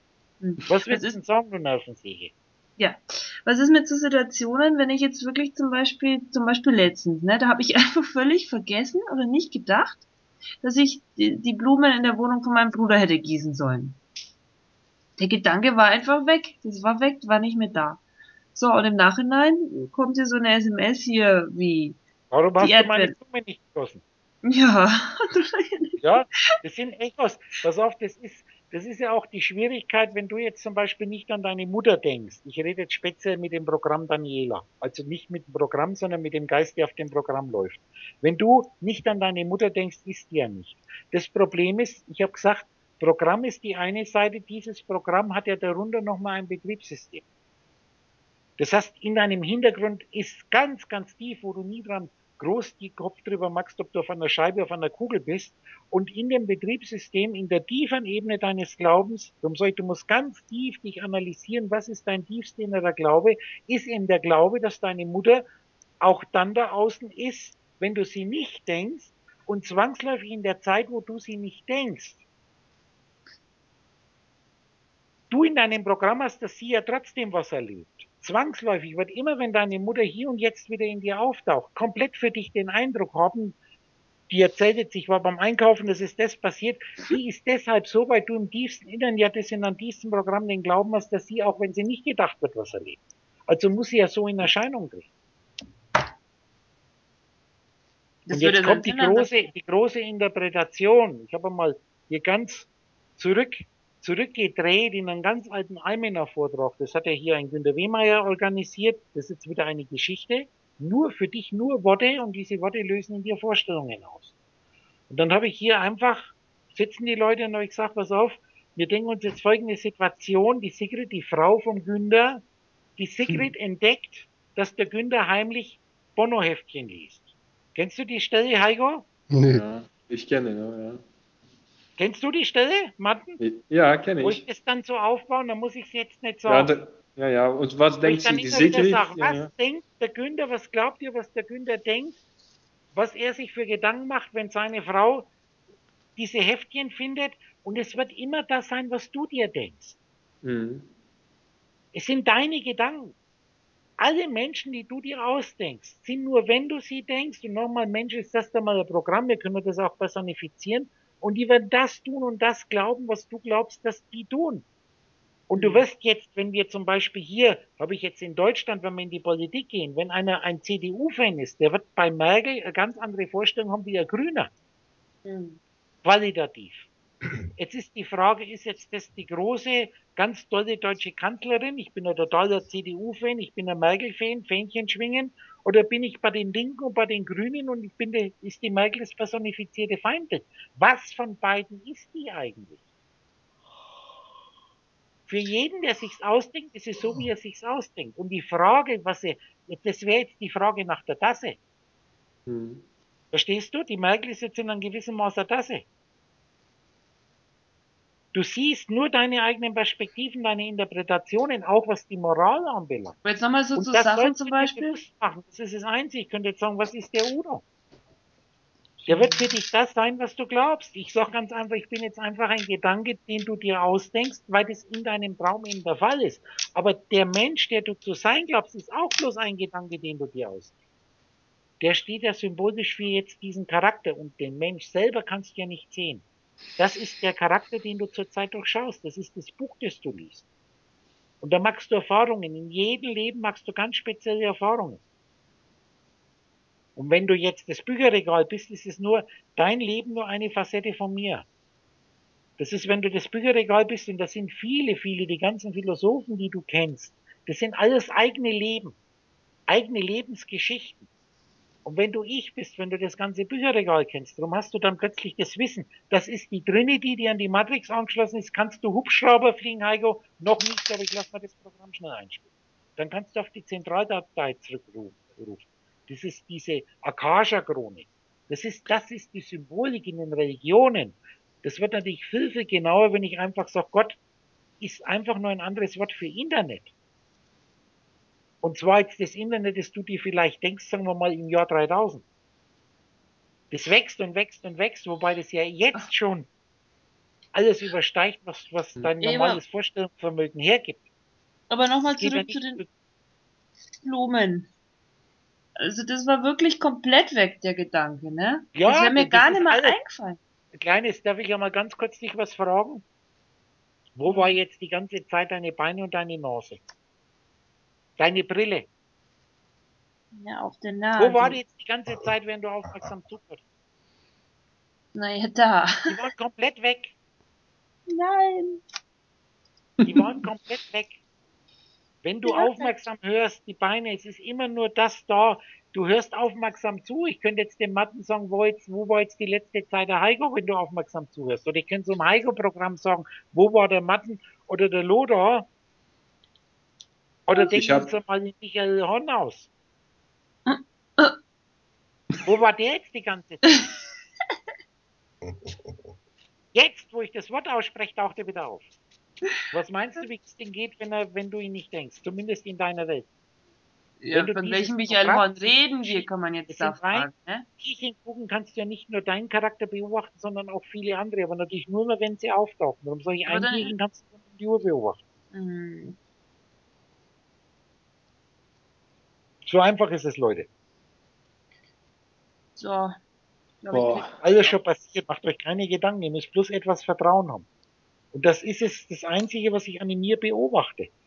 Beobachte, was du magst, das ist, du spitzt ja deine Rolle in deinem Kopf. was meinst du mit Vertrauen? Wenn ich immer wieder sage, du kannst dir nicht raussuchen, was du magst, oder wenn du immer dumm daher schwätzt mit dem Daniela-Programm. Das ist keine Schuldzuweisung an das Daniela-Programm. Auch nicht an den Geistesfunk, an diesen Aspekt von mir, der das durchlebt. Die Frage ist der Beobachter, bin ich dabei? Das war das, was ich euch, euch geschickt habe. Drum daher Das ist, dass ich jetzt wieder in euch, in dir, ich bin jetzt wieder in dir, du und ich, wir sind jetzt wieder, du kannst jetzt auch durch die Augen des Christus sehen, durch Rudolf. Also nur du, Udo, findest, dass ich dumm daher schwätze. Das finde nicht ich, das ist, das rote Ich erkennt, dass dieses Programm nur dumm daher sappert. Weil es ja schon längst durchschaut ist, wenn du ich bist. Wenn du natürlich noch das dumme Programm nur laufen hast, darum habe ich gesagt, du, du erlebst die Welt der Daniela und du kannst jetzt auch, was wird jetzt der Udo dazu sagen? Das ist auch Ja, so ein kleiner, wie würde, wenn du einfach, wenn du viel von, von, von Holofeeling gehört hast, wie würde jetzt das Holofeeling, was würde der Udo jetzt dazu sagen? Und du Ja. kriegst dann irgendwann einmal auch wieder so, ich sag mal, so, ein, so eine Art Holofeeling-Virenscanner. Ich meine jetzt nicht den, der sich wehrt gegen Veränderungen, dass wenn du mit Freunden zusammen bist, dass du so viele Sachen, die du rausplapperst, die werden im Keim schon erstickt mit den Virenscanner, weil du merkst, das ist vollkommener Blödsinn, wenn ich das jetzt ausspreche. Da brauche ich gar nichts mehr erzählen mit normalen Leuten. Ja, das, deine, die normalen Leuten, die du noch um dich rum hast, denen brauchst du sowieso nichts erzählen. Du brauchst Leuten prinzipiell nichts erzählen. Die heißen ja im Hebräischen nicht umsonst Modim. Das normale hebräische Wort für Leute ist Modim. M-T-I-M. Kannst in jedem Wörterbuch Ja, komm, jetzt reicht's. Das heißt, MT heißt Tod. Jom-Endung als Plural, das heißt eigentlich Tode. Hm. ist hochinteressant. Das Also heißt, die Leute, die Menschen um dich rum sind Tote. Lass die Toten ihre Toten begraben.